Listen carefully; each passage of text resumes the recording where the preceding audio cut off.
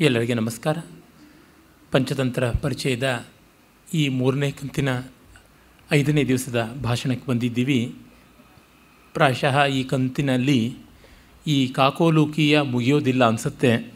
ಅದು ಇಡೀ ಪಂಚತಂತ್ರಗಳಲ್ಲಿ, ತಂತ್ರ ಪಂಚಕದಲ್ಲಿ ಅತ್ಯಂತ ದೀರ್ಘವಾದದ್ದು. ಆದರೆ ಮುಂದಿನ ಲಬ್ಧಪ್ರಾಣಾಶ ಮತ್ತು ಅಸಮೀಕ್ಷಕಾರಿತ್ವ ಸ್ವಲ್ಪ ಚಿಕ್ಕದಾದದ್ದರಿಂದ ಅಲ್ಲಿಗೆ ಹೊಂದಾಣಿಕೆ ಮಾಡಿಕೊಳ್ಳಬಹುದು. ತೊಂದರೆ ಏನಿಲ್ಲ. ಮುಖ್ಯವಾಗಿ ಒಳ್ಳೆಯ ಸಂಸ್ಕೃತ ಗದ್ಯದ ಮಾದರಿ, ಮತ್ತು ಬಹುಮಟ್ಟಿನ ಶ್ಲೋಕಗಳೆಲ್ಲ ಅರ್ಥಪೂರ್ಣವಾದವು. ತುಂಬ ಸರಳವಾಗಿದ್ದರೂ ಗಹನವಾದ ಮತ್ತು ಸಾರ್ವತ್ರಿಕ ಮೌಲ್ಯವನ್ನು, ಅನ್ವಯವನ್ನು ಹೊಂದಿರುವ ತತ್ವವನ್ನು ಇಟ್ಟುಕೊಂಡಿರುವ ಕಾರಣ ಹೆಚ್ಚಿನ ಮಟ್ಟಿಗೆ ಪಾಠ್ಯವನ್ನೆಲ್ಲ ಓದಿಯೇ ಒಂದು ಕಡೆಗೆ ಇಟ್ಟುಬಿಡೋಣ ಅನ್ನುವುದು ಆಗಿದ್ದರಿಂದ ಸ್ವಲ್ಪ ನಿಧಾನವಾಗ್ತಾ ಇದೆ, ಮನ್ನಿಸಬೇಕು.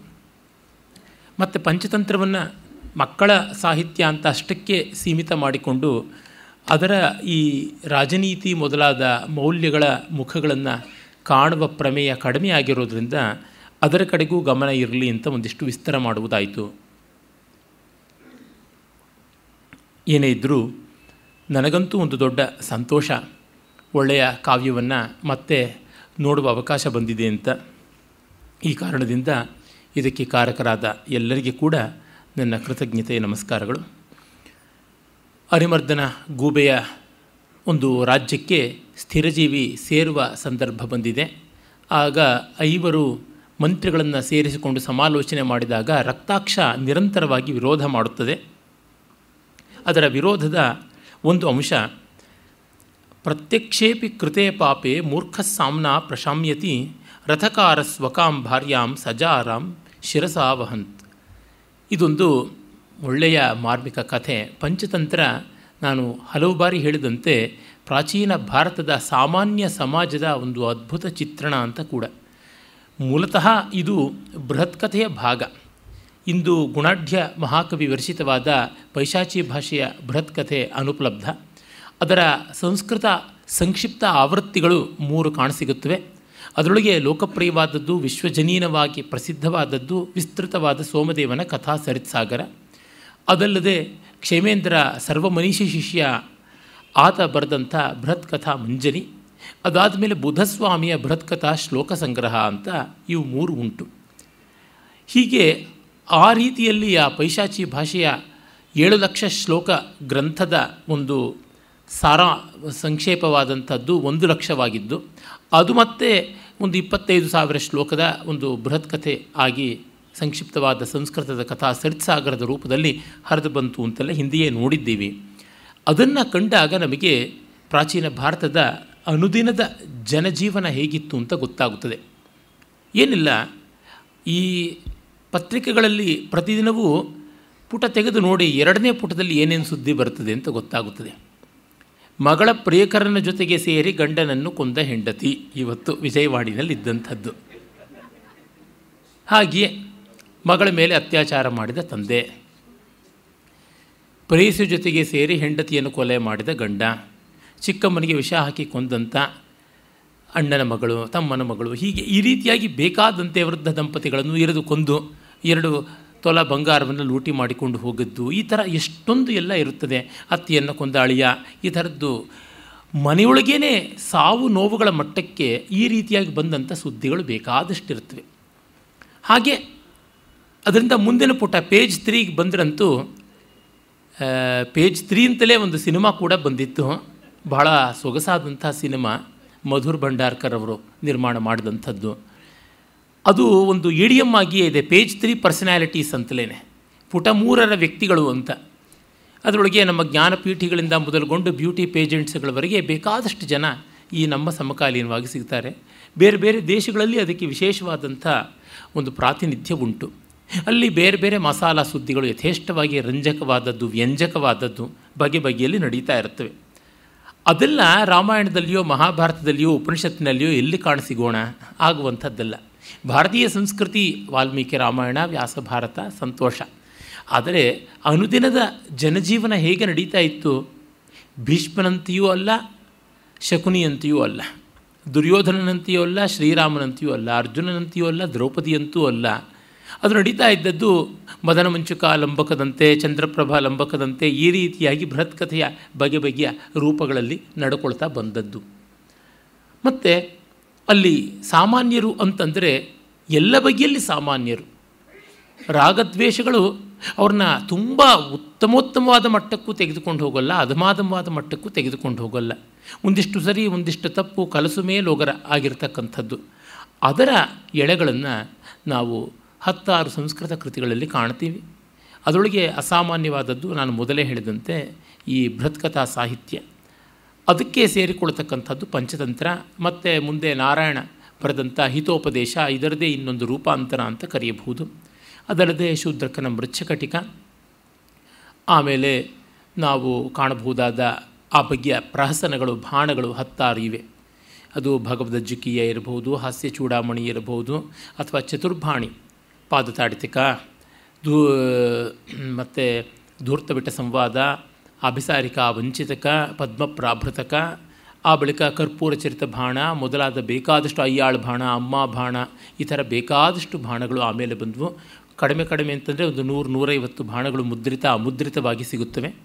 ಅದಲ್ಲದೆ ಪ್ರಹಸನ ಸಾಹಿತ್ಯ ಮೊದಲೇ ಹೇಳಿದಂತೆ ಬೇಕಾದಷ್ಟು ಉಂಟು. ಲಂಬೋದರ ಪ್ರಹಸನ, ಸೋಮವಲ್ಲಿ ಯೋಗಾನಂದ ಪ್ರಹಸನ, ನಾಟವಾಟ ಪ್ರಹಸನ, ಹೀಗೆ ಬೇಕಾದಷ್ಟು ಪ್ರಹಸನಗಳಲ್ಲಿ ಕಾಣ್ತೀವಿ. ಅದಲ್ಲದೆ ಭಲ್ಲಟ ಶತಕದಲ್ಲಿ ನೀಲಕಂಠ ದೀಕ್ಷಿತನ ಅನ್ಯಾಪದೇಶ ಶತಕದಲ್ಲಿ ಕಲ್ಲುಡಂಬನ ಶತಕದಲ್ಲಿ, ಹೀಗೆ ಬೇರೆ ಬೇರೆಯ ಶತಕಾದಿ ಸಾಹಿತ್ಯಗಳಲ್ಲಿ ಕೂಡ ನಾವು ಕಾಣ್ತೀವಿ. ಇನ್ನು ಪ್ರಾಚೀನವಾಗಿ ನೋಡಿದಾಗ ಬೌದ್ಧ ಜಾತಕ ಕಥೆಗಳಲ್ಲಿ ವಿಶೇಷವಾಗಿ ಕಾಣ್ತೀವಿ.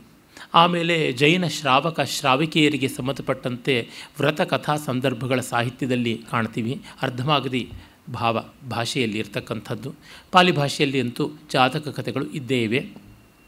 ಆಮೇಲೆ ನಾವು ನೋಡುವಂಥದ್ದು ಈ ಜಾನಪದ ಕಥೆಗಳಲ್ಲಿ ಎಲ್ಲ ಭಾಷೆಗಳಲ್ಲಿ ಇವೆ ಅದು. ಒಂದೊಂದು ಭಾರತೀಯ ಭಾಷೆಯಲ್ಲಿಯೂ ಯಥೇಷ್ಟವಾಗಿ ಜಾನಪದ ಕಥೆಗಳುಂಟು ತುಂಬ ಆಕರ್ಷಕವಾಗಿರುವ ಕಥೆಗಳು, ಬೋಧಕವಾಗಿ, ರೋಚಕವಾಗಿ ಇರತಕ್ಕಂಥವು. ಆ ಕಥೆಗಳ ಸ್ವಾರಸ್ಯ ತುಂಬ ಮನಸ್ಸಿಗೆ ಮುಟ್ಟುವಂಥದ್ದು. ಆ ಬಗೆಗೆ ತುಂಬ ದೊಡ್ಡ ಅಧ್ಯಯನವನ್ನು ಮಾಡಿದ್ದಾರೆ. ಹಾಗೆ ಮಾಡಿದವರು ತುಂಬ ದೊಡ್ಡ ತಪ್ಪುಗಳನ್ನು ಮಾಡಿದ್ದಾರೆ. ಅದು ಸಂಸ್ಕೃತ ಪರಂಪರೆಯಿಂದ ಭಿನ್ನವಾದದ್ದು ಮಾತ್ರವಲ್ಲ, ಅದಕ್ಕೆ ವಿರುದ್ಧವಾದದ್ದು ಅಂತ ಏನೇನೋ ನಮ್ಮ ಕನ್ನಡಿಗರೇ ಆ ಥರ ಮಾಡಿದ್ದಾರೆ ಆ ಕೆಲಸವನ್ನು. ದೊಡ್ಡ ಹೆಸರು ಎ ಕೆ ರಾಮಾನುಜನ್ ಅನ್ನುವರು ಶಿಕಾಗೋ ವಿಶ್ವವಿದ್ಯಾಲಯದಲ್ಲಿ ಇದ್ದರು. ಅವರು ಭಾರತೀಯ ಜಾನಪದ ಕಥೆಗಳ ಒಂದು ಸಂಗ್ರಹವನ್ನು ತಂದು ಅದಕ್ಕೊಂದು ಪ್ರಸ್ತಾವನೆಯೆಲ್ಲ ಬರೆದಿದ್ದಾರೆ. ಆಂಶಿಕ ಸತ್ಯ, ಅಸತ್ಯಕ್ಕಿಂತ ತುಂಬ ಅಪಾಯಕಾರಿ.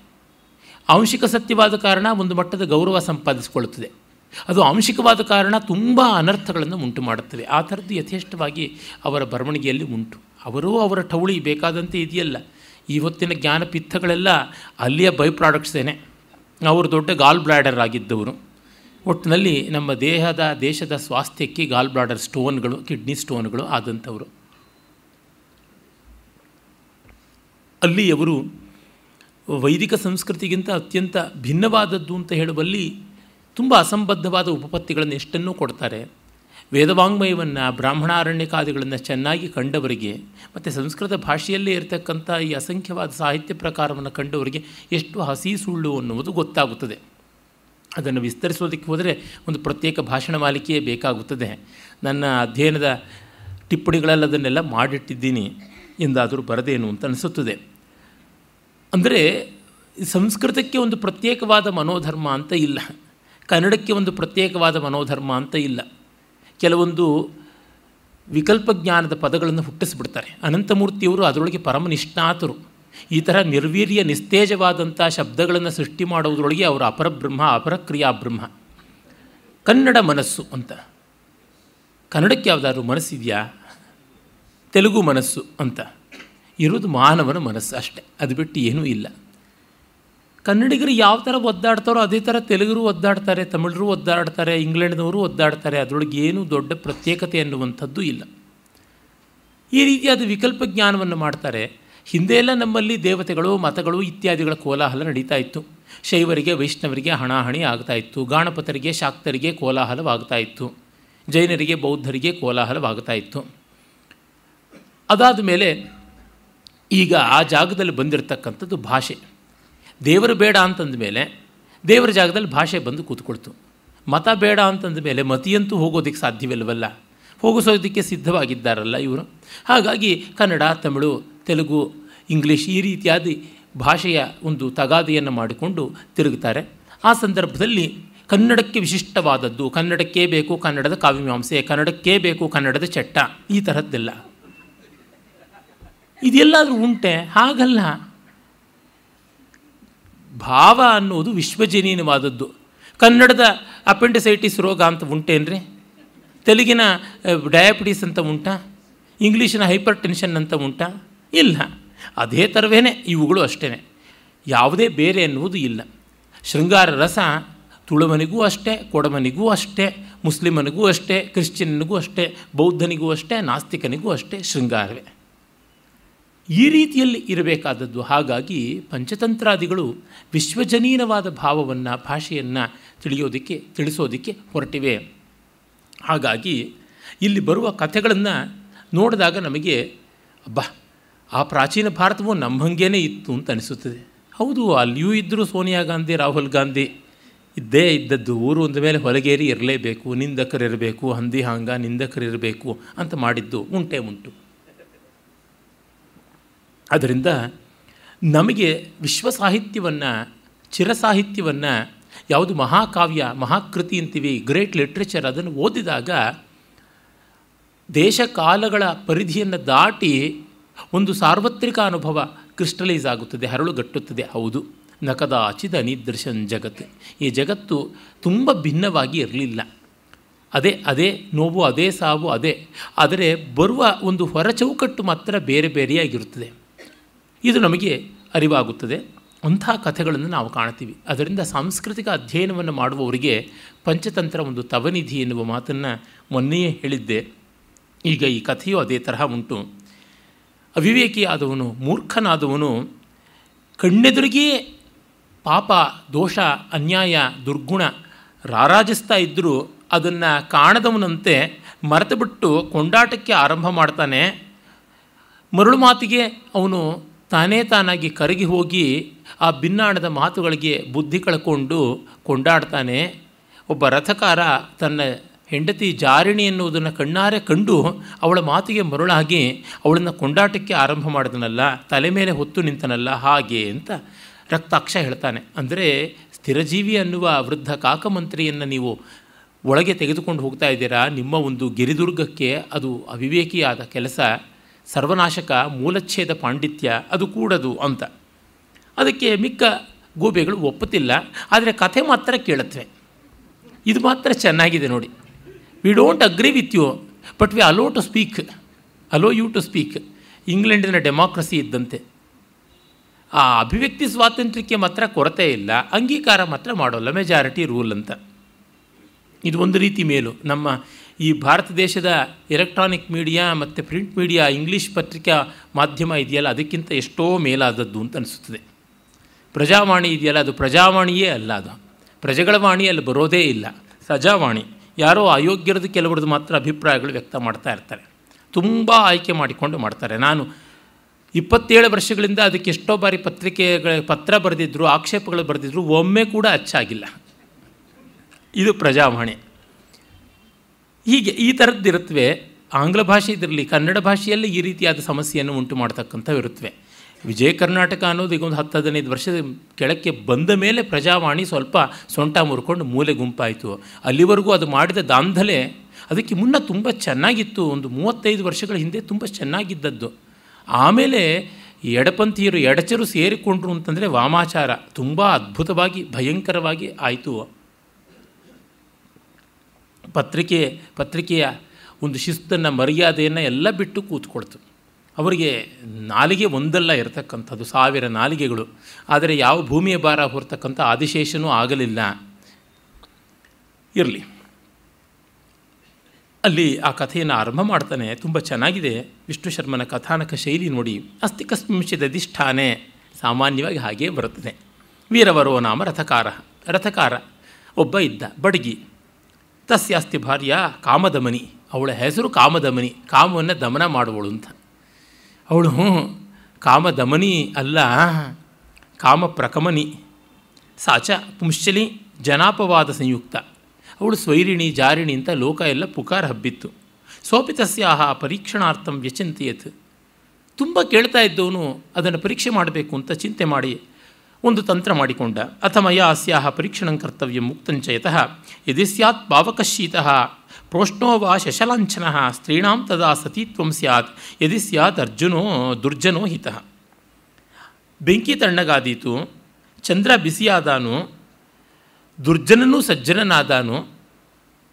ಆಗ ಮಾತ್ರ ಹೆಣ್ಣಿಗೆ ಪಾತಿವೃತ್ಯ ಬಂದೀತು ಅಂತ. ಇವನು ಸಾರಾ ಸಕಟಾಗಿ ಸಕಲ ಸ್ತ್ರೀಯರು ಅಸತಿಯರು ಅಂತ ಭಾವಿಸಿಕೊಂಡಿದ್ದಾನೆ. ಈ ಥರ ಮಾಡಿಕೊಂಡವನು ತನ್ನ ಹೆಂಡತಿಯ ಅಸತಿತ್ವ ಕಂಡ ಮೇಲೂ ತೆಪ್ಪಗಾಗ್ಬಿಡ್ತಾನೆ. ಜಾನಾಮಿ ಚೈನಾಂ ಲೋಕವಚನ, ಲೋಕವಚನಾತ್ ಅಸತೀಂ. ಇವಳು ಲೋಕಪ್ರವಾದದ ಪ್ರಕಾರ ಅಸತಿ ತುಶೀಲೆ ಎನ್ನುವುದು ಗೊತ್ತಿದೆ. ಎಚ್ಚ ವೇದೇಶು ಶಾಸ್ತ್ರೇಷು ನ ದೃಷ್ಟಂ ನ ಚ ಸಂಶ್ರುತಂ ತತ್ಸರ್ವಂ ವೇತ್ಯ ಲೋಕೋಯಂ, ಯಸ್ಯಾತ್ ಬ್ರಹ್ಮಾಂಡ ಮಧ್ಯಮಂ. ಬ್ರಹ್ಮಾಂಡ ಮಧ್ಯಗಮ್ ಅನ್ನುವ ಪಾಠವೂ ಉಂಟು. ವೇದಗಳಲ್ಲಿ, ಶಾಸ್ತ್ರಗಳಲ್ಲಿ ಯಾವುದು ಕಾಣಸಿಗುವುದಿಲ್ಲ. ಮತ್ತೆಲ್ಲಿಯೂ ಅನ್ಯತ್ರ ಕೇಳಸಿಗುವುದಿಲ್ಲ. ಅದೆಲ್ಲವೂ ಕೂಡ ಬ್ರಹ್ಮಾಂಡ ರಹಸ್ಯವಷ್ಟು ಲೋಕಸಾಮಾನ್ಯದಲ್ಲಿ ಸಿಗುತ್ತದೆ ಅಂತ. ಬಹಳ ನಿಜವಾದದ್ದು. ವೇದ ಸುಳ್ಳಾದರೂ ಗಾದೆ ಸುಳ್ಳಾಗೋಲ್ಲ ಅಂತ ಒಂದು ಒಳ್ಳೆಯ ಗಾದೆಯೇ ಉಂಟಲ್ಲ. ಯಾಕೆಂದರೆ ಕಾಮನ್ ಸೆನ್ಸ್ ಅನ್ನುವುದು ಲೋಕದಲ್ಲಿ ಇರುತ್ತದೆ. ಹೀಗಾಗಿ ಲೋಕವನ್ನು ಕಂಡು ಲೋಕದ ಮೂಲಕವಾಗಿ ಎಷ್ಟನ್ನೋ ಪಡೆಯಬಹುದು. ಅದೊಮ್ಮೆ ಖಾದ್ರಿ ಶಾಮಣ್ಣ ಅವರು ಪತ್ರಿಕೋದ್ಯಮಿ, ಹಿಂದೆ ಕನ್ನಡಪ್ರಭ ಮೊದಲಾದ ಪತ್ರಿಕೆಗಳಿಗೆ ಸಂಪಾದಕರಾಗಿದ್ದವರು ಡಿ ವಿ ಜಿಯವ್ರನ್ನ ಆಕಾಶವಾಣಿಯ ಸಂದರ್ಶನಕ್ಕೆ ಹೋಲಿಸಿ ಮಾತಾಡಿದರು. ತಮಗೆ ಈ ಹೊತ್ತಿನ ಪತ್ರಿಕೋದ್ಯಮ ತಮ್ಮ ಭೀಷ್ಮ ನೇತ್ರಗಳಿಗೆ ಹೇಗೆ ಕಾಣುತ್ತದೆ ಅಂತ ಪ್ರಶ್ನೆ. ನನಗಿನ್ನೂ ಚೆನ್ನಾಗಿ ಜ್ಞಾಪಕ ಇದೆ ಆ ಫ್ರೇಸು ತಮ್ಮ ಭೀಷ್ಮ ನೇತ್ರಗಳಿಗೆ ಹೇಗೆ ಕಾಣುತ್ತದೆ ಅಂತ. ಖಾದ್ರಿ ಶಾಮಣ್ಣನವರು ಭರ್ಜರಿ ಪದಪ್ರಯೋಗಗಳಿಗೆ ಪ್ರಸಿದ್ಧರಾದವರು ಅವ್ರದ್ದು ಒಳ್ಳೆ ಓಜಸ್ವಿಯಾದ ಶೈಲಿ. ಅದಕ್ಕೆ ಡಿ ವಿ ಜಿಯವರು ಭೀಷ್ಮನೇತ್ರ ಎಲ್ಲಿ ಬಂತು ಶಾವಣ್ಣ ಧೃತರಾಷ್ಟ್ರ ನೇತ್ರ ಅಂತನ್ನಿ ಕಣ್ಣಿಗೆ ಪೊರೆಯೋ ಬಂತು, ಮುಪ್ಪೂ ಆಗಿದೆ. ಏನೋ ನಿಮ್ಮಂಥ ನಾಲ್ಕೈದು ಜನ ಸಂಜಯರಿರೋದ್ರಿಂದ ನನಗೆ ಲೋಕವಾರ್ತೆ ಗೊತ್ತಾಗ್ತಾ ಇದೆ ಅಂತಂತಾರೆ. ಅಂದರೆ ಲೋಕವಾರ್ತೆ ಎನ್ನುವುದು ನಿರಂತರ ತಿಳಿತಾ ಇರಬೇಕು. ಅದಿಲ್ಲದ್ರೆ ಪ್ರಯೋಜನಕ್ಕೆ ಬರೋಲ್ಲ. ನಾನು ಈಗ ಚಾಮರಾಜಪೇಟೆಯಿಂದ ನಡ್ಕೊಂಡು ಬರ್ತಾ ದಾರಿಯಲ್ಲಿ ಅದನ್ನು ಯೋಚನೆ ಮಾಡ್ತಾ ಇದ್ದೆ. ನಮಗೆ ಎಂದು ತರುಣ ಪೀಳಿಗೆಯವರು ಅರ್ಥ ಆಗ್ತಾ ಇಲ್ಲ ಅಂತ ಅನಿಸ್ಬಿಡ್ತಿದೆಯೋ, ಆ ತಕ್ಷಣವೇ ನಾವು ಮುಪ್ಪಾದ್ವಿ ಅಂತ ಅರ್ಥ. ಇನ್ನೇನು ಅಲ್ಲ, ವಯಸ್ಸಾಗಿದ್ದಕ್ಕೆ ತಲೆ ಕೂದಲು ಬೆಳ್ಳಗಾಗೋದು, ಹಲ್ಲು ಉದುರೋದು, ಚರ್ಮ ಸುಕ್ಕಾಗೋದು, ಅದು ಯಾವುದೂ ಅಲ್ಲ. ಅದೆಲ್ಲಕ್ಕೂ ಮಿಗಿಲಾದಗೆ ಮೀರಿ ನಿಂತಿರುವುದು ಯಾವುದು ಅಂತಂದರೆ ಇದೆ, ಇದೊಂದೇ. ನಾವು ಈ ಹೊತ್ತಿನ ಇಪ್ಪತ್ತು ವರ್ಷ, ಇಪ್ಪತ್ತೈದು ವರ್ಷಗಳ ಒಳಗಿರ್ತಕ್ಕಂಥವ್ರಿದ್ದಾರಲ್ಲ ವಿಶೇಷವಾಗಿ ಸಾಮಾನ್ಯವಾಗಿ ಹದಿನೇಳು, ಹದಿನೆಂಟರಿಂದ ಇಪ್ಪತ್ತೈದರವರೆಗಿನ ಆ ಒಂದು ಏಳೆಂಟು ವರ್ಷಗಳ ಅವಧಿಯ ತರುಣ ತರುಣಿಯರ ಚಿತ್ತವೃತ್ತಿಗಳಿಗೆ ನಾವು ವಿಜಾತೀಯರಾದ್ವಿ ಅಂತಂದರೆ ಔಟ್ಡೇಟೆಡ್ ಅಂತನ್ನುವ ಅರ್ಥ. ಅವ್ರಿಗೇನು ಬೇಕಾಗಿದೆ? ಅವರು ಆಸೆ ಪಡ್ತಕ್ಕಂಥ ನಟರು, ನಟಿಯರು ಯಾರು? ಕ್ರೀಡಾಪಟುಗಳು ಯಾರು? ತಿಂಡಿ ತೀರ್ಥಗಳು ಯಾವುದು? ಬಟ್ಟೆ ಬರಗಳು ಏನು? ನೋಟ, ಆಟಗಳು ಯಾವುದು ಅಂತನ್ನೋದನ್ನು ನಾವು ಅರ್ಥ ಮಾಡಿಕೊಂಡಲ್ಲಿ ಸಮಕಾಲೀನರಾಗಿದ್ದೀವಿ ಕಾಂಟೆಂಪ್ರರಿ ಆಗೋದಕ್ಕೆ ಇನ್ಯಾವುದೂ ಅಳತೆಗೊಳ್ಬೇಕಾಗಿಲ್ಲ ಇಷ್ಟೇ ಬೇಕಾಗಿರತಕ್ಕಂಥದ್ದು. ಒಂದು ಕಾಲೇಜ್ಗೆ ಹೋಗಿ ಆ ಕಾಲೇಜ್ ಹುಡುಗರ ಜೊತೆಗೆ ನೀವು ಹುಡುಗರಂಗೆ ಇರಬಲ್ರಾ ಅಂದರೆ ಆಯಿತು. ಅಲ್ಲಿಗೆ ನಿಮ್ಮ ಆಯುಷ್ಯ ಹಿಂದಕ್ಕೆ ಬಂದಿದೆ. ಇನ್ನು ಸಾಕಷ್ಟು ವರ್ಷ ಬದುಕ್ತೀರಾ ಅಂತ ಅರ್ಥ. ಯೌವನವಿದೆ ಅಂತ. ಅದು ಲೋಕ. ಲೋಕ್ಯತೆ ಇತಿ ಲೋಕ. ಕಣ್ಣಿಗೆ ಬೀಳೋದು ಲೋಕ. ಇನ್ನು ನೋಡಿ, ಇನ್ನು ಒಂದು ಹದಿನೈದು ವರ್ಷಗಳ ಒಂದು ಅವಧಿ ಒಳಗೆ ಭಾರತ ದೇಶ ಅತ್ಯಂತ ಯೌವನ ದೇಶ ಆಗಿಬಿಡುತ್ತೆ ಜಗತ್ತಿನಲ್ಲಿ ಚೈನಾ ಮೊದಲಾದ ಎಲ್ಲ ದೇಶಗಳು ಮುಪ್ಪಿಗೆ ಕಾಲಿಟ್ಟು. ಜಗತ್ತಿನ ಅತ್ಯಂತ ಪ್ರಾಚೀನ ಸಂಸ್ಕೃತಿ ಎಂಟು ಸಾವಿರ ಒಂಬತ್ತು ಸಾವಿರ ವರ್ಷಗಳ ಹಿಂದಿನ ವೈದಿಕ ಸಂಸ್ಕೃತಿಯ ಭಾರತ ದೇಶ ಅತ್ಯಂತ ನವನವೀನವಾದ ಯೌವನ ದೇಶ ಆಗುತ್ತದೆ ಅಂತ. ಈಗಲೇ ಮೋ one of the most youngest countries ಅಂತ ಹೇಳ್ಬಿಟ್ಟು ಅಂದಿದ್ದಾರೆ ನಾನು ಬೇಕು ಅಂತಲೇ ಶೇಕ್ಸ್ಪಿಯರ್ನ ಎರಡು, ಈ ಸೂಪರ್ಲೇಟಿವ್ಸ್ ಮೋಸ್ಟ್ ಯಂಗೆಸ್ಟ್ ಅಂತ ಬಳಸಿದ್ದೀನಿ. ಅದರ ತಾಜಾತನ ತೋರ್ಪಡಿಸೋದಕ್ಕೆ. ಯಾಕೆ ಅಂತಂದರೆ ಲೋಕ ಇರತಕ್ಕಂಥದ್ದು ಅಲ್ಲಿಯೇ. ಒಂದು ಪರಮಸತ್ಯ ಹೇಳಬೇಕು ಅಂದರೆ, ಮುಪ್ಪಿನ ವ್ಯಕ್ತಿ ಚಿಂತನೆಯ ಫ್ಯಾಂಟಸಿ ಮಾಡಿಕೊಂಡ್ರೆ, ತರುಣ ವ್ಯಕ್ತಿ ಕಾಮನಿಯ fantasy ಮಾಡ್ಕೊಳ್ತಾನೆ. One fantasizes with sex other fantasizes with worries ಅಂತ. ಇದು ಬಿಟ್ಟು ತರುಣನಿಗೂ, ಮುದುಕನಿಗೂ ವ್ಯತ್ಯಾಸ ಏನೂ ಇಲ್ಲ. ಲೋಕ ಇರತಕ್ಕಂಥದ್ದು ಚಿಂತೆಯ ಪ್ರಪಂಚದಲ್ಲಲ್ಲ, ಬಯಕೆಯ ಪ್ರಪಂಚದಲ್ಲಿ. ಚಿಂತೆಯ ಪ್ರಪಂಚಕ್ಕೆ ಏನೂ ಬೇಕಾಗಿಲ್ಲ, ದೊಡ್ಡ ಲೋಕ. ಬಯಕೆ ಪ್ರಪಂಚಕ್ಕೆ ತುಂಬ ಬೇಕಾದದ್ದು. ಹೀಗಾಗಿ ಲೋಕ ವಾರ್ತೆಯನ್ನು ಕೇಳ್ತಾ ಇರಬೇಕು. ನಾವು ಅದರಂತೆ ಆಗಬೇಕು ಅಂತಲ್ಲ. ಅದರಂತೆ ಹೇಗೆ ಆಗಬಾರ್ದು ಅಂತ ಆಲೋಚನೆ ಮಾಡೋದಕ್ಕೂ ಅದು ಬೇಕಾಗುತ್ತದೆ. ಆ ಲೋಕ ಪ್ರವಾದವನ್ನು ಗಮನಿಸಿಕೊಳ್ತಾ ಇರಬೇಕು. ಅವನು ಹೇಳ್ತಾನೆ, ವೇದಾದಿಗಳಿಗೂ ಗೋಚರವಲ್ಲದ ಪರಮಸತ್ಯ ಲೋಕಕ್ಕೆ ಕಾಣಸಿಗುತ್ತದೆ ಅಂತ. ಬಹಳ ನಿಜ ಅಂತ ಅನಿಸುತ್ತದೆ. ಏಕೆಂದರೆ ನಮ್ಮ ಶಾಸ್ತ್ರಾದಿಗಳು ಎಷ್ಟೋ ಬಾರಿ ಅನ್ವಾಂಟೆಡ್ ನಾನ್ ಸೆನ್ಸನ್ನು ಬಹಳ ಬರೆದಿರುತ್ತವೆ. ಉದಾಹರಣೆಗೆ ನೋಡಿ, ಮೂರ್ನಾಲ್ಕು ದಿವಸಗಳ ಕೆಳಗೆ ಒಬ್ಬರು ಸ್ನೇಹಿತರು, ಅವರು ಯಾರೋ ಸ್ನೇಹಿತರು ಕಳಿಸಿಕೊಟ್ಟರು ಒಂದು ಯಾವುದೋ ಪುರಂದರದಾಸರ ಹೆಸರಿನಲ್ಲಿರ್ತಕ್ಕಂಥ ಮುಂಡಿಗೆಯ ಪದವನ್ನು ಅದನ್ನು ಬಗೆಹರಿಸಬೇಕು ಅಂತ ಕಳಿಸಿಕೊಟ್ರು. ಆಮೇಲೆ ನಾನು ಅವರಿಗೆ ಫೋನ್ ಮಾಡೋದಕ್ಕೆ ತಿಳಿಸಿದ್ದೆ. ನನ್ನ ಸ್ನೇಹಿತರ ಸ್ನೇಹಿತರು ಫೋನ್ ಮಾಡಿದ್ರು. ಅವರ ಸ್ನೇಹಿತರಿಗೆ ಬೇಕಾಗಿದೆಯಂತ ಅರ್ಥ. ಆ ಮುಂಡಿಗೆಯ ಪದಗಳಾಗಲಿ ಬೆಳಗಿನ ವಚನಗಳು ಈ ರೀತಿಯಾದವಕ್ಕೆಲ್ಲ ಅನೇಕ ಬಗೆಯಲ್ಲಿ ಅರ್ಥ ಹೇಳಬಹುದು. ಅದು ಒಂಥರ ಮಾಡೆಲ್ಲು ಹೇಗೆ ಬೇಕಾದರೂ ಆಗುತ್ತದೆ. ಐದು ಅಂತಂದುಬಿಟ್ರೆ ಪಂಚೇಂದ್ರಿಯ ಅಂತ ಬೇಕಾದ್ರೂ ಅಂದುಕೊಳ್ಬೋದು ಪಂಚ ತನ್ಮಾತ್ರ ಅಂತ ಬೇಕಾದರೂ ಅಂದುಕೊಳ್ಬೋದು ಪಂಚಕೋಶ ಅಂತ ಬೇಕಾದ್ರೂ ಅಂದುಕೊಳ್ಬೋದು ಈ ಥರ ಸಂಖ್ಯೆಗಳ ಮೇಲೆ ಮತ್ತೊಂದರ ಮೇಲೆ, ಈ ಕೊಡಗಾನ ಕೋಳಿ ನುಂಗಿತ್ತ ಅನ್ನೋದಕ್ಕೆ ಏನಂತ ವ್ಯಾಖ್ಯಾನ ಮಾಡ್ತೀರಾ ಹೇಳಿ. ಏನೋ ಒಂದು ಕೈ ಅಂದಾಜು, ಬಾಯಿ ಅಂದಾಜು, ಕೈ ತೂಕ, ಬಾಯಿ ಬಣ್ಣದ್ದು ಮಾಡಬೇಕಾಗುತ್ತದೆ. ಆ ಅರ್ಥಕ್ರಮವೇ ಒಂದು ಮಟ್ಟಿನ ವಂಚನೆ. ಏನೋ ಮಾಡಿದವ್ರಿಗೆ ಸಮಾಧಾನ, ಕೇಳಿದವ್ರಿಗೆ ಸಮಾಧಾನ. ಯಾಕೆಂದರೆ ಪಾಮರ ಜನಕ್ಕೆ ಹೊತ್ತು ಹೋಗೋಲ್ಲ, ಇಂಥ ದೊಡ್ಡ ದೊಡ್ಡ ಮಾತುಗಳನ್ನು ಕೇಳ್ತಾ ಇದ್ದರೆ ಚೆನ್ನಾಗಿರ್ತದೆ ಅಂತ ಅದ್ರ ಮೇಲೆ ಒಂದು ವಾರ ಪ್ರವಚನಕಾರನಿಗೆ ಹೊಟ್ಟೆಪಾಡಾಗುತ್ತಲ್ಲ ಒಂದೊಂದು ಸಾಲನ್ನು ಹಿಸಿದು, ಹಿಂಡಿ ಹಿಗ್ಗಲಿಸಿ ಗೋವಿಂದ ಅನ್ನೋದಕ್ಕೆ ಗೋ ಅಂದರೆ ಏನು ಅಂತ ಒಂದು ದಿವಸ ಪೂರ್ತಿ ಮಾತಾಡೋದು. ವಿ ಅಂದರೆ ಏನು ಅಂತ ಎರಡು ದಿವಸ ಮಾತಾಡೋದು. ದಾ ಅಂದರೆ ಏನು ಅಂತ ಮೂರು ದಿವಸ ಮಾತಾಡೋದು. ಒಂದು ವಾರ ನೆಗೆದು ಬಿದ್ದು ಹೋಯ್ತಲ್ಲ. ಈ ಥರದ್ದು ಅಂದರೆ ಅತಿವಿಸ್ತಾರ ಅವನತಿಯ ಲಕ್ಷಣ ಅಂತ ಯಾರು ಕೃಷ್ಣಶಾಸ್ತ್ರಿಗಳು ಹೇಳ್ತಾರೆ. ಹಿಗ್ಗಲಿಸಿ ಹಿಗ್ಗಲಿಸಿ, ಜಗ್ಗಿ ಜಗ್ಗಿ ಮಾಡುವುದು. ಹೀಗೆ ಆಗಿಬಿಡ್ತದೆ. ಅದಲ್ಲ. ಹಾಗೆ ಮಾಡಬಾರದು. ಒಗಟುಗಳನ್ನು ಒಂದು ಮಟ್ಟದ ವಿನೋದಕ್ಕೆ ಇಟ್ಕೊಳ್ಬೇಕೇ ಹೊರತುಲವೇ ಅದನ್ನು ಹೊಟ್ಟೆಪಾಡಿಗೆ ಮಾಡ್ಕೊಂಡ್ಬಿಟ್ರೆ ಕಷ್ಟ. ನೀವು ಗೋಬಿ ಮಂಚೂರಿಯಲ್ಲಿ ಜನ್ಮ ಇಡೀ ಆರೋಗ್ಯಕ್ಕೆ ನಾನು ಊಟ ಮಾಡ್ಕೊಂಡು ಕಾಲ ಕಳಿತೀನಿ ಅಂತಂದರೆ ಗೋರಿ ಮಂಚೂರಿ ಆಗಿಬಿಡುತ್ತೆ ಹೊರತುನುವೆ ಗೋಬಿ ಮಂಚೂರಿ ಆಗೋದಿಲ್ಲ. ಹೀಗಾಗಿ ಯಾವುದು ಜಂಕ್ ಫುಡ್ ಅಂತ ಆಗಿದೆ ಈ ವೇದಾಂತದ ಜಂಕ್ ಫುಡ್ಡುಗಳು ಈ ಥರ ಬೆಳಗಿನ ವಚನಗಳು, ಮುಂಡಿಗೆ ವಚನಗಳು, ಬ್ರಹ್ಮೋದ್ಯಗಳು, ವೇದಗಳಿಂದ ಇದೆ. ನಾನ್ಸೆನ್ಸಿಗೆ ವೇದ ಏನು ಬಾಹ್ಯವಲ್ಲ. ಎಲ್ಲೆಲ್ಲಿಯೂ ಉಂಟು. ಜಗತ್ತಿನಲ್ಲಿ ಹೊಲಸಿದೆ ಅಂದರೆ ಎಲ್ಲ ಕಡೆಯಲ್ಲೂ ಇರುತ್ತದೆ. ಅಲ್ಲಿ ಇಲ್ಲಿ ಅಂತ ಅಲ್ಲ. ಹೀಗಾಗಿ ಲೋಕಕ್ಕೆ ಇದು ಗೊತ್ತಾಗುತ್ತದೆ. ಸ್ಪಷ್ಟವಾಗಿ ತಿಳ್ಕೊಳ್ಳುತ್ತವೆ. ಇಂದೊಬ್ಬರು ಪ್ರಕಾಶಕರು ಬಂದಿದ್ದರು ಅವ್ರ ಜೊತೆ ಮಾತಾಡ್ತಾ ಇದ್ದಾಗ ಅವರೊಂದು ಅದ್ಭುತ ಸತ್ಯವನ್ನು ಹೇಳಿದರು. ನಾನು ಗಮನಿಸಿಕೊಂಡಿದ್ದೆ, ಅವರು ಹೇಳಿದ್ರಲ್ಲ, ಅದರಿಂದ ಎಂಡೋರ್ಸ್ಮೆಂಟ್ ಸಿಕ್ತು ಅಂತ. ಈಗಲೂ ಜನ ಓದತಕ್ಕಂಥದ್ದು ಒಂದು ಮಟ್ಟದ ಗಟ್ಟಿ ಸಾಹಿತ್ಯವನ್ನೇ ಹೆಚ್ಚಾಗಿ. ಡಿ ವಿ ಜಿಯವ್ರನ್ನ ಓದ್ತಾರೆ, ಮಾಸ್ತಿಯವ್ರನ್ನ ಓದ್ತಾರೆ ದೇವುಡು ಅವ್ರನ್ನ ಓದ್ತಾರೆ. ಇವರು ಯಾರಿಗೂ ಜಾತಿ ಬಲವಿಲ್ಲ. ಹಾಗೆಂತ ಬರೀ ಬ್ರಾಹ್ಮಣ ಲೇಖಕರನ್ನು ಓದ್ತಾರೆ ಅಂತಲ್ಲ ಕುವೆಂಪುರನ್ನ ಓದ್ತಾರೆ, ತೇಜಸ್ವಿಯವ್ರನ್ನ ಓದ್ತಾರೆ. ಮತ್ತು ಆಸ್ತಿಕರನ್ನೇ ಓದ್ತಾರೆ ಅಂತಿಲ್ಲ, ಕಾರಂತರನ್ನು ಓದ್ತಾರೆ, ಬೀಚಿನೂ ಓದ್ತಾರೆ. ಅಂತಂದರೆ ಜನ ಆರೋಗ್ಯವಾದ ಸಾಹಿತ್ಯ ಓದ್ತಿದ್ದಾರೆ. ಸಾಮಾನ್ಯನಿಗೆ ಒಳ್ಳೆಯದೇನಿದೆ ಅನ್ನೋದು ಅಂತರಂಗಕ್ಕೆ ಗೋಚರವಾಗಿದೆ. ಇಂದೂ ಕೂಡ ನಾನು ಯೂಟ್ಯೂಬ್ನಲ್ಲಿ ಹಳೆಯ ಚಿತ್ರಗಳು ಎಷ್ಟು ಎಷ್ಟು ಹಿಟ್ಸ್ ಬಂದಿವೆ, ಎಷ್ಟು ಅಂತ ನೋಡಿದ್ರೆ ಯಾವುದು ಉತ್ತಮವಾದ ಹಾಡುಗಳು ಅಂತ ಸಾಮಾನ್ಯ ಪ್ರತಿಷ್ಠಿತವಾಗಿವೆಯೋ ಅವನ್ನೇ ಹೆಚ್ಚು ನೋಡಿದ್ದಾರೆ ಅನ್ನೋದು ಗೊತ್ತಾಗುತ್ತದೆ. ಹೊಸದಕ್ಕೆ ಒಂದಷ್ಟು ಇರ್ತದೆ ಕ್ರೇಜು, ಕೊಲವೆರಡಿಗೆ ಬೇಕಾದಷ್ಟು ಬಂದಿತ್ತು, ಈಗ ಯಾರೂ ಅದನ್ನು ಮೂಸ್ತಾ ಇಲ್ಲ. ಅರೆ ಸತತವಾಗಿ ನೋಡ್ತಾ ಇರ್ತಕ್ಕಂಥ ಐವತ್ತು, ಅರವತ್ತು ವರ್ಷಗಳ ಹಿಂದಿಂದ ನೂರು ವರ್ಷಗಳ ಹಿಂದಿಂದ ಗಮನಿಸಿಕೊಂಡು ಬಂದದ್ದು ಏನು ಅಂತ ನೋಡಿದಾಗ ಲೋಕಸತ್ತೆಯ ದೊಡ್ಡತನ ಏನು ಅಂತ ಗೊತ್ತಾಗುತ್ತದೆ. ಡಿ ವಿ ಜಿಯವರು ಅದನ್ನು ಬರೀತಾರೆ. ರಾಮಾಯಣ ಮಹಾಕಾವ್ಯ ಅಂತ ಸಾಮಾನ್ಯನಿಗೆ ಗೊತ್ತಾಗುತ್ತದೆ. ಯೂನಿವರ್ಸಿಟಿ ವಿಟ್ಸ್ ಅಂತ ಇರ್ತಾರಲ್ಲ, ಅವ್ರಿಗೆ ಗೊತ್ತಾಗದೆ ಹೋಗ್ಬೋದು. ನಮ್ಮ ದೊಡ್ಡ ದೊಡ್ಡ ವಿದ್ವಾಂಸರಿಗೆ ಗೊತ್ತಾಗದೆ ಹೋಗ್ಬೋದು. ಒಬ್ಬರು ಜ್ಞಾನಪೀಠ ನಂಬರ್ ಏಯ್ಟ್ ಇದಾರಲ್ಲ, ಅವರು ಮಹಾಭಾರತ, ಅದು ದುರ್ಯೋಧನ ಪರವಾಗಿದ್ದದ್ದು. ಹಾಗಲ್ಲ, ಹೀಗಲ್ಲ, ಪಾಂಡವರ ಪರ ಅಲ್ಲ ಅಂತ ಹೇಳಿಬಿಟ್ಟು ತಾವೇ ಒಂದು ಹೊಸ ದರ್ಶನ ಕಂಡಂತೆ ಯಾವುದೋ ಕಾಲದಲ್ಲಿ ಅವನು ಹೋಲ್ಸ್ಮನ್ನು ಮೊದಲಾದವರು ಹೇಳಿ ಡಿಸ್ಕಾರ್ಡ್ ಆಗಿರ್ತಕ್ಕಂಥ ವಾದವನ್ನು ಯಾರದೋ ಮೊಣಕೈ ನೀರು, ಸ್ವಂತದ್ದು ಅಲ್ಲ. ಅದನ್ನು ಓದಿಕೊಂಡ್ರು. ಆದರೆ ಅದನ್ನು ಹೇಳಿದ್ರು ಒಂದಷ್ಟು ಪತ್ರಿಕೆಗಳಲ್ಲಿ ಹೊಲಸನ್ನು ರಾಡಿ ಹರಿಸಿದ್ರು. ಅರೆ, ಜನ ಅದಕ್ಕೆ ಕ್ಯಾರೆ ಅಂತ ಅನ್ನಲಿಲ್ಲ ನೋಡಲೇ ಇಲ್ಲ. ಶಂಕರಾಚಾರ್ಯರ ಗೂಂಡಾಗಿರಿ, ಶಂಕರಾಚಾರ್ಯ ಪ್ರತಿಗಾಮಿತನ ಅಂತ ಇನ್ಯಾರೋ ಬರೆದ್ರು. ಆದರೆ ಆ ಪುಸ್ತಕದಿಂದ ಅವ್ರಿಗೊಂದಿಷ್ಟು ದುಡ್ಡಾಯಿತೇ ಹೊರತು ಜನ ಏನೂ ತಲೆ ಕೆಡಿಸ್ಕೊಳ್ಳಿಲ್ಲ. ಉಡುಪಿ ಕೃಷ್ಣ, ಕೃಷ್ಣನ, ಸುಬ್ರಹ್ಮಣ್ಯನ ಅಂತ ಟಿ ವಿ ಚಾನೆಲ್ಗಳವರು ಒಂದು ಸ್ವಲ್ಪ ದಿವಸ ಟಿ ಆರ್ ಪಿ ಕೋಲಾಹಲ ಮಾಡಿಕೊಂಡ್ರು. ಉಡುಪಿ ಕೃಷ್ಣನಿಗೆ ಬರೋ ಭಕ್ತರು ಏನೂ ಕಡಿಮೆ ಆಗಲಿಲ್ಲ. ಜನಕ್ಕೆ ಗೊತ್ತು, ಈ ಕೋಲಾಹಲದಲ್ಲಿ ಮಸಾಲೆ ಏನಿರುತ್ತೆ ಅದು ನೋಡೋಣ ಅಂತ. ಪಟಾಕಿ ಎಷ್ಟು ದಿವಸ ಅಂಟಿಸ್ತೀವಿ? ಒಂದೆರಡು ದಿವಸ ದೀಪಾವಳಿ, ಬಲಿಪಾಡ್ಯಮಿ ನರಕ ಚತುರ್ದಶಿ, ಆಮೇಲೆ ತೆಪ್ಪಗೆ ನಮ್ಮ ಶಾಂತಿಯಲ್ಲಿ ನಾವಿರ್ತೀವಿ ಅಂತ.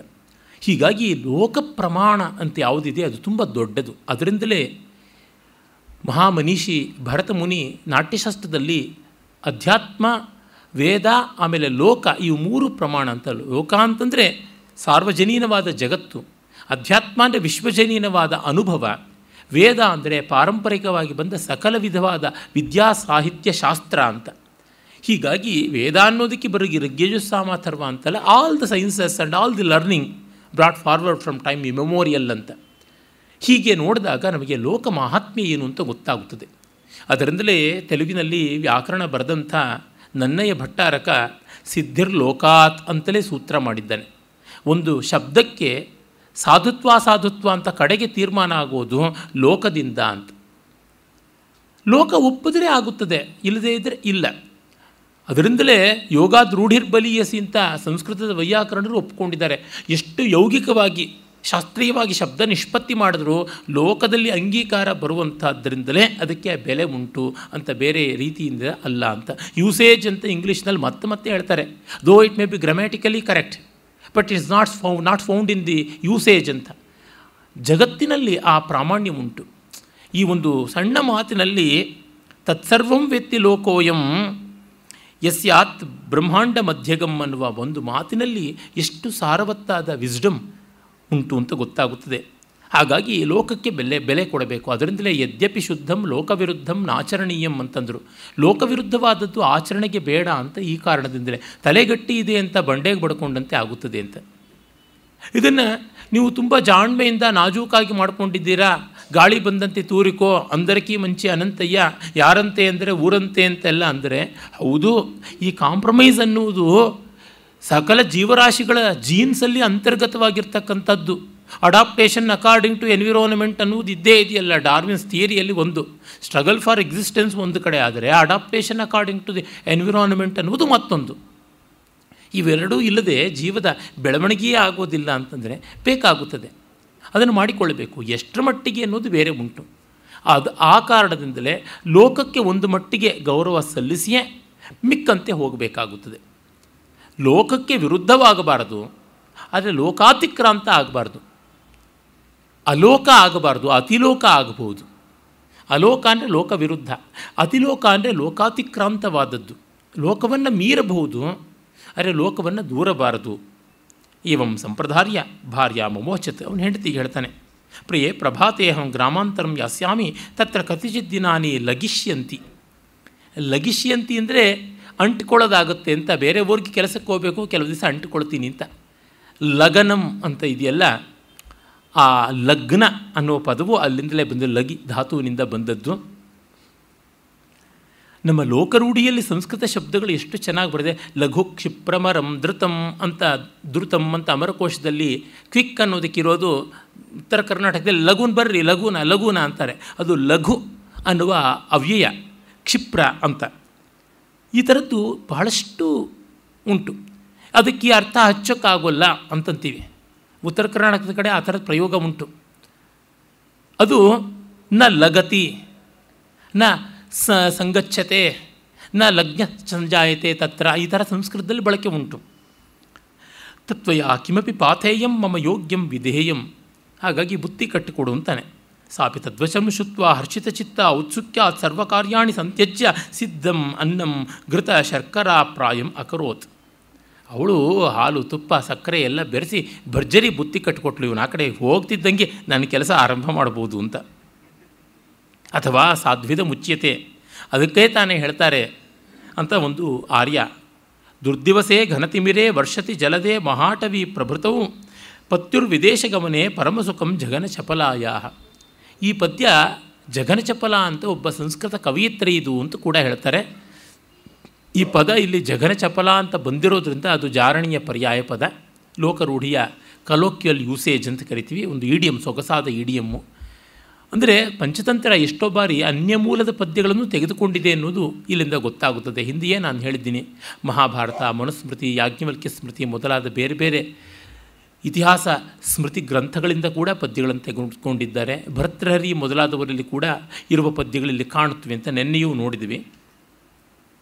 ಮೋಡ ಮುಚ್ಚಿಕೊಂಡ ದಿವಸಗಳಲ್ಲಿ ಕತ್ತಲಾಗಿದ್ದಾಗ, ಮಳೆ ಬರ್ತಾ ಇದ್ದಾಗ ತುಂಬ ದಟ್ಟವಾದ ಕಾಡು ಇತ್ಯಾದಿಗಳ ಸಂದರ್ಭದಲ್ಲಿ ಗಂಡ ಊರಿಗೆ ಹೋಗಿದ್ದಾಗ ಆಗಲೇ ಜಾರಣಿಯರಿಗೆ ಪರಮಸುಖದ ಕಾಲ ಅಂತ.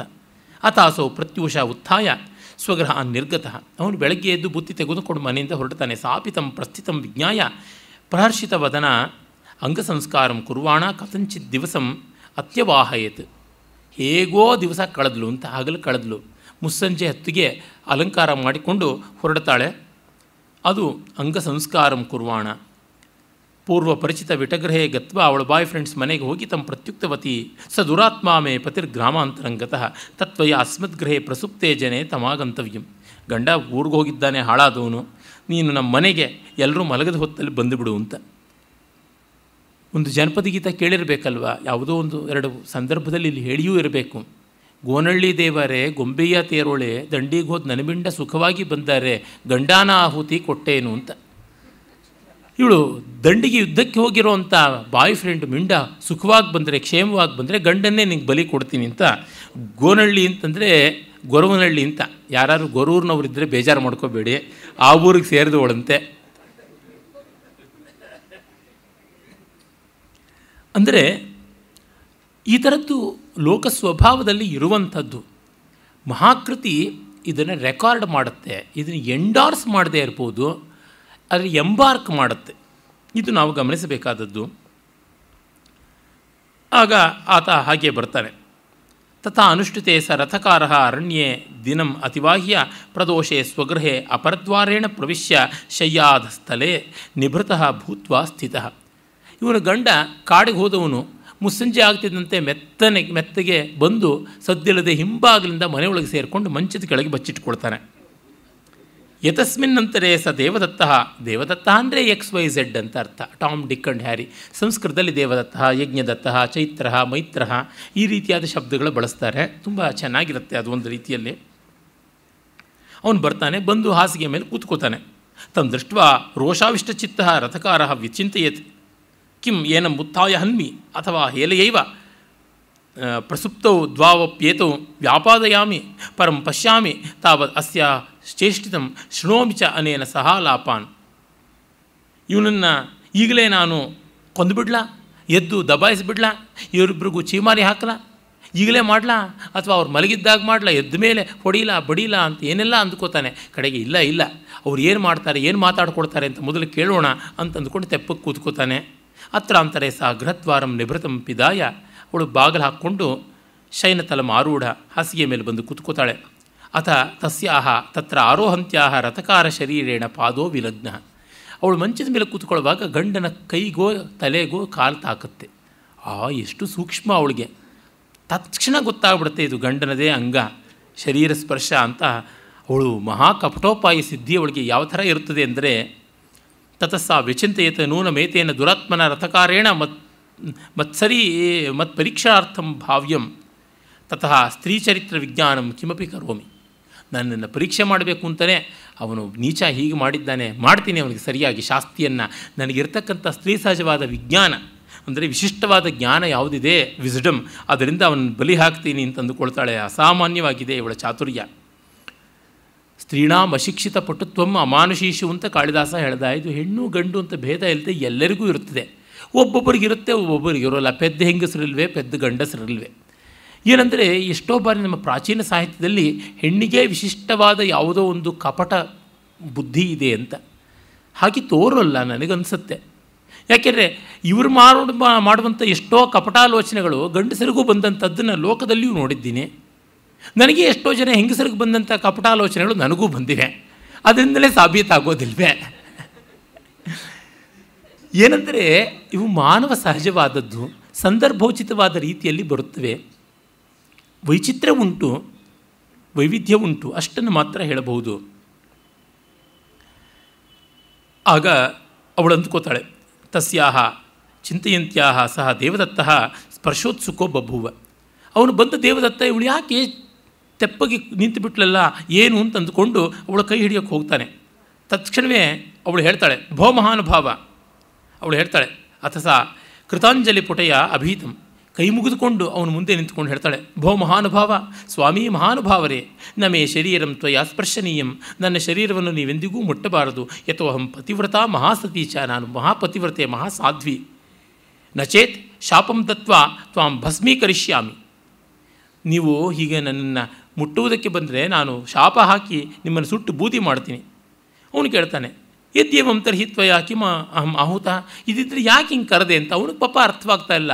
ಹೀ ಇಸ್ ಪರ್ಪ್ಲೆಕ್ಸ್ಡ್ ಕೆಳಗಿರ್ತಕ್ಕಂಥ ಗಂಡ ಕುತೂಹಲ ಈಸ್ ಕ್ಯೂರಿಯಸ್ ಸಾ ಬ್ರವೀತ್, ಭೋಹೋ, ಶೃಣುಶ್ವ, ಏಕಾಗ್ರಮನಾಹ. ಏಕಾಗ್ರಮನಸ್ವಿನಿಂದ ಕೇಳುವಂಥವರಾಗಿ ಅಹಮದ್ಯ ಪ್ರತೂಷೆ ದೇವತಾ ದರ್ಶನಾರ್ಥಂ ಚಂಡಿಕಾಯತನಂ ಗತ. ನಾನು ಇಂದು ಬೆಳಗಿನ ಜಾವವೇ ದೇವಿಯ ದರ್ಶನಕ್ಕೋಸ್ಕರವಾಗಿ ಚಂಡಿಕಾ ದೇವಸ್ಥಾನಕ್ಕೆ ಹೋದೆ ಅಂತ. ಈ ದೇವಿ ಭಕ್ತಿಯಂತೂ ಎಷ್ಟು ಪ್ರಯೋಜನಕಾರಿಯಾಗಿ ಬರುತ್ತದೆ ನೋಡಿ. ತತ್ರ ಅಕಸ್ಮಾತ್ ಖೇ ವಾಣಿ ಸಂಜಾತ ಆಗ ಇದ್ದಕ್ಕಿದ್ದಂತೆ ನಭೋಂತರಾಳದಲ್ಲಿ ಅವ ಆಕಾಶವಾಣಿ ಅದೃಶ್ಯ ಶರೀರದಿಂದ ವಾಣಿ ಕೇಳಿಸ್ತು ಅದು ಹೇಳುತ್ತೆ,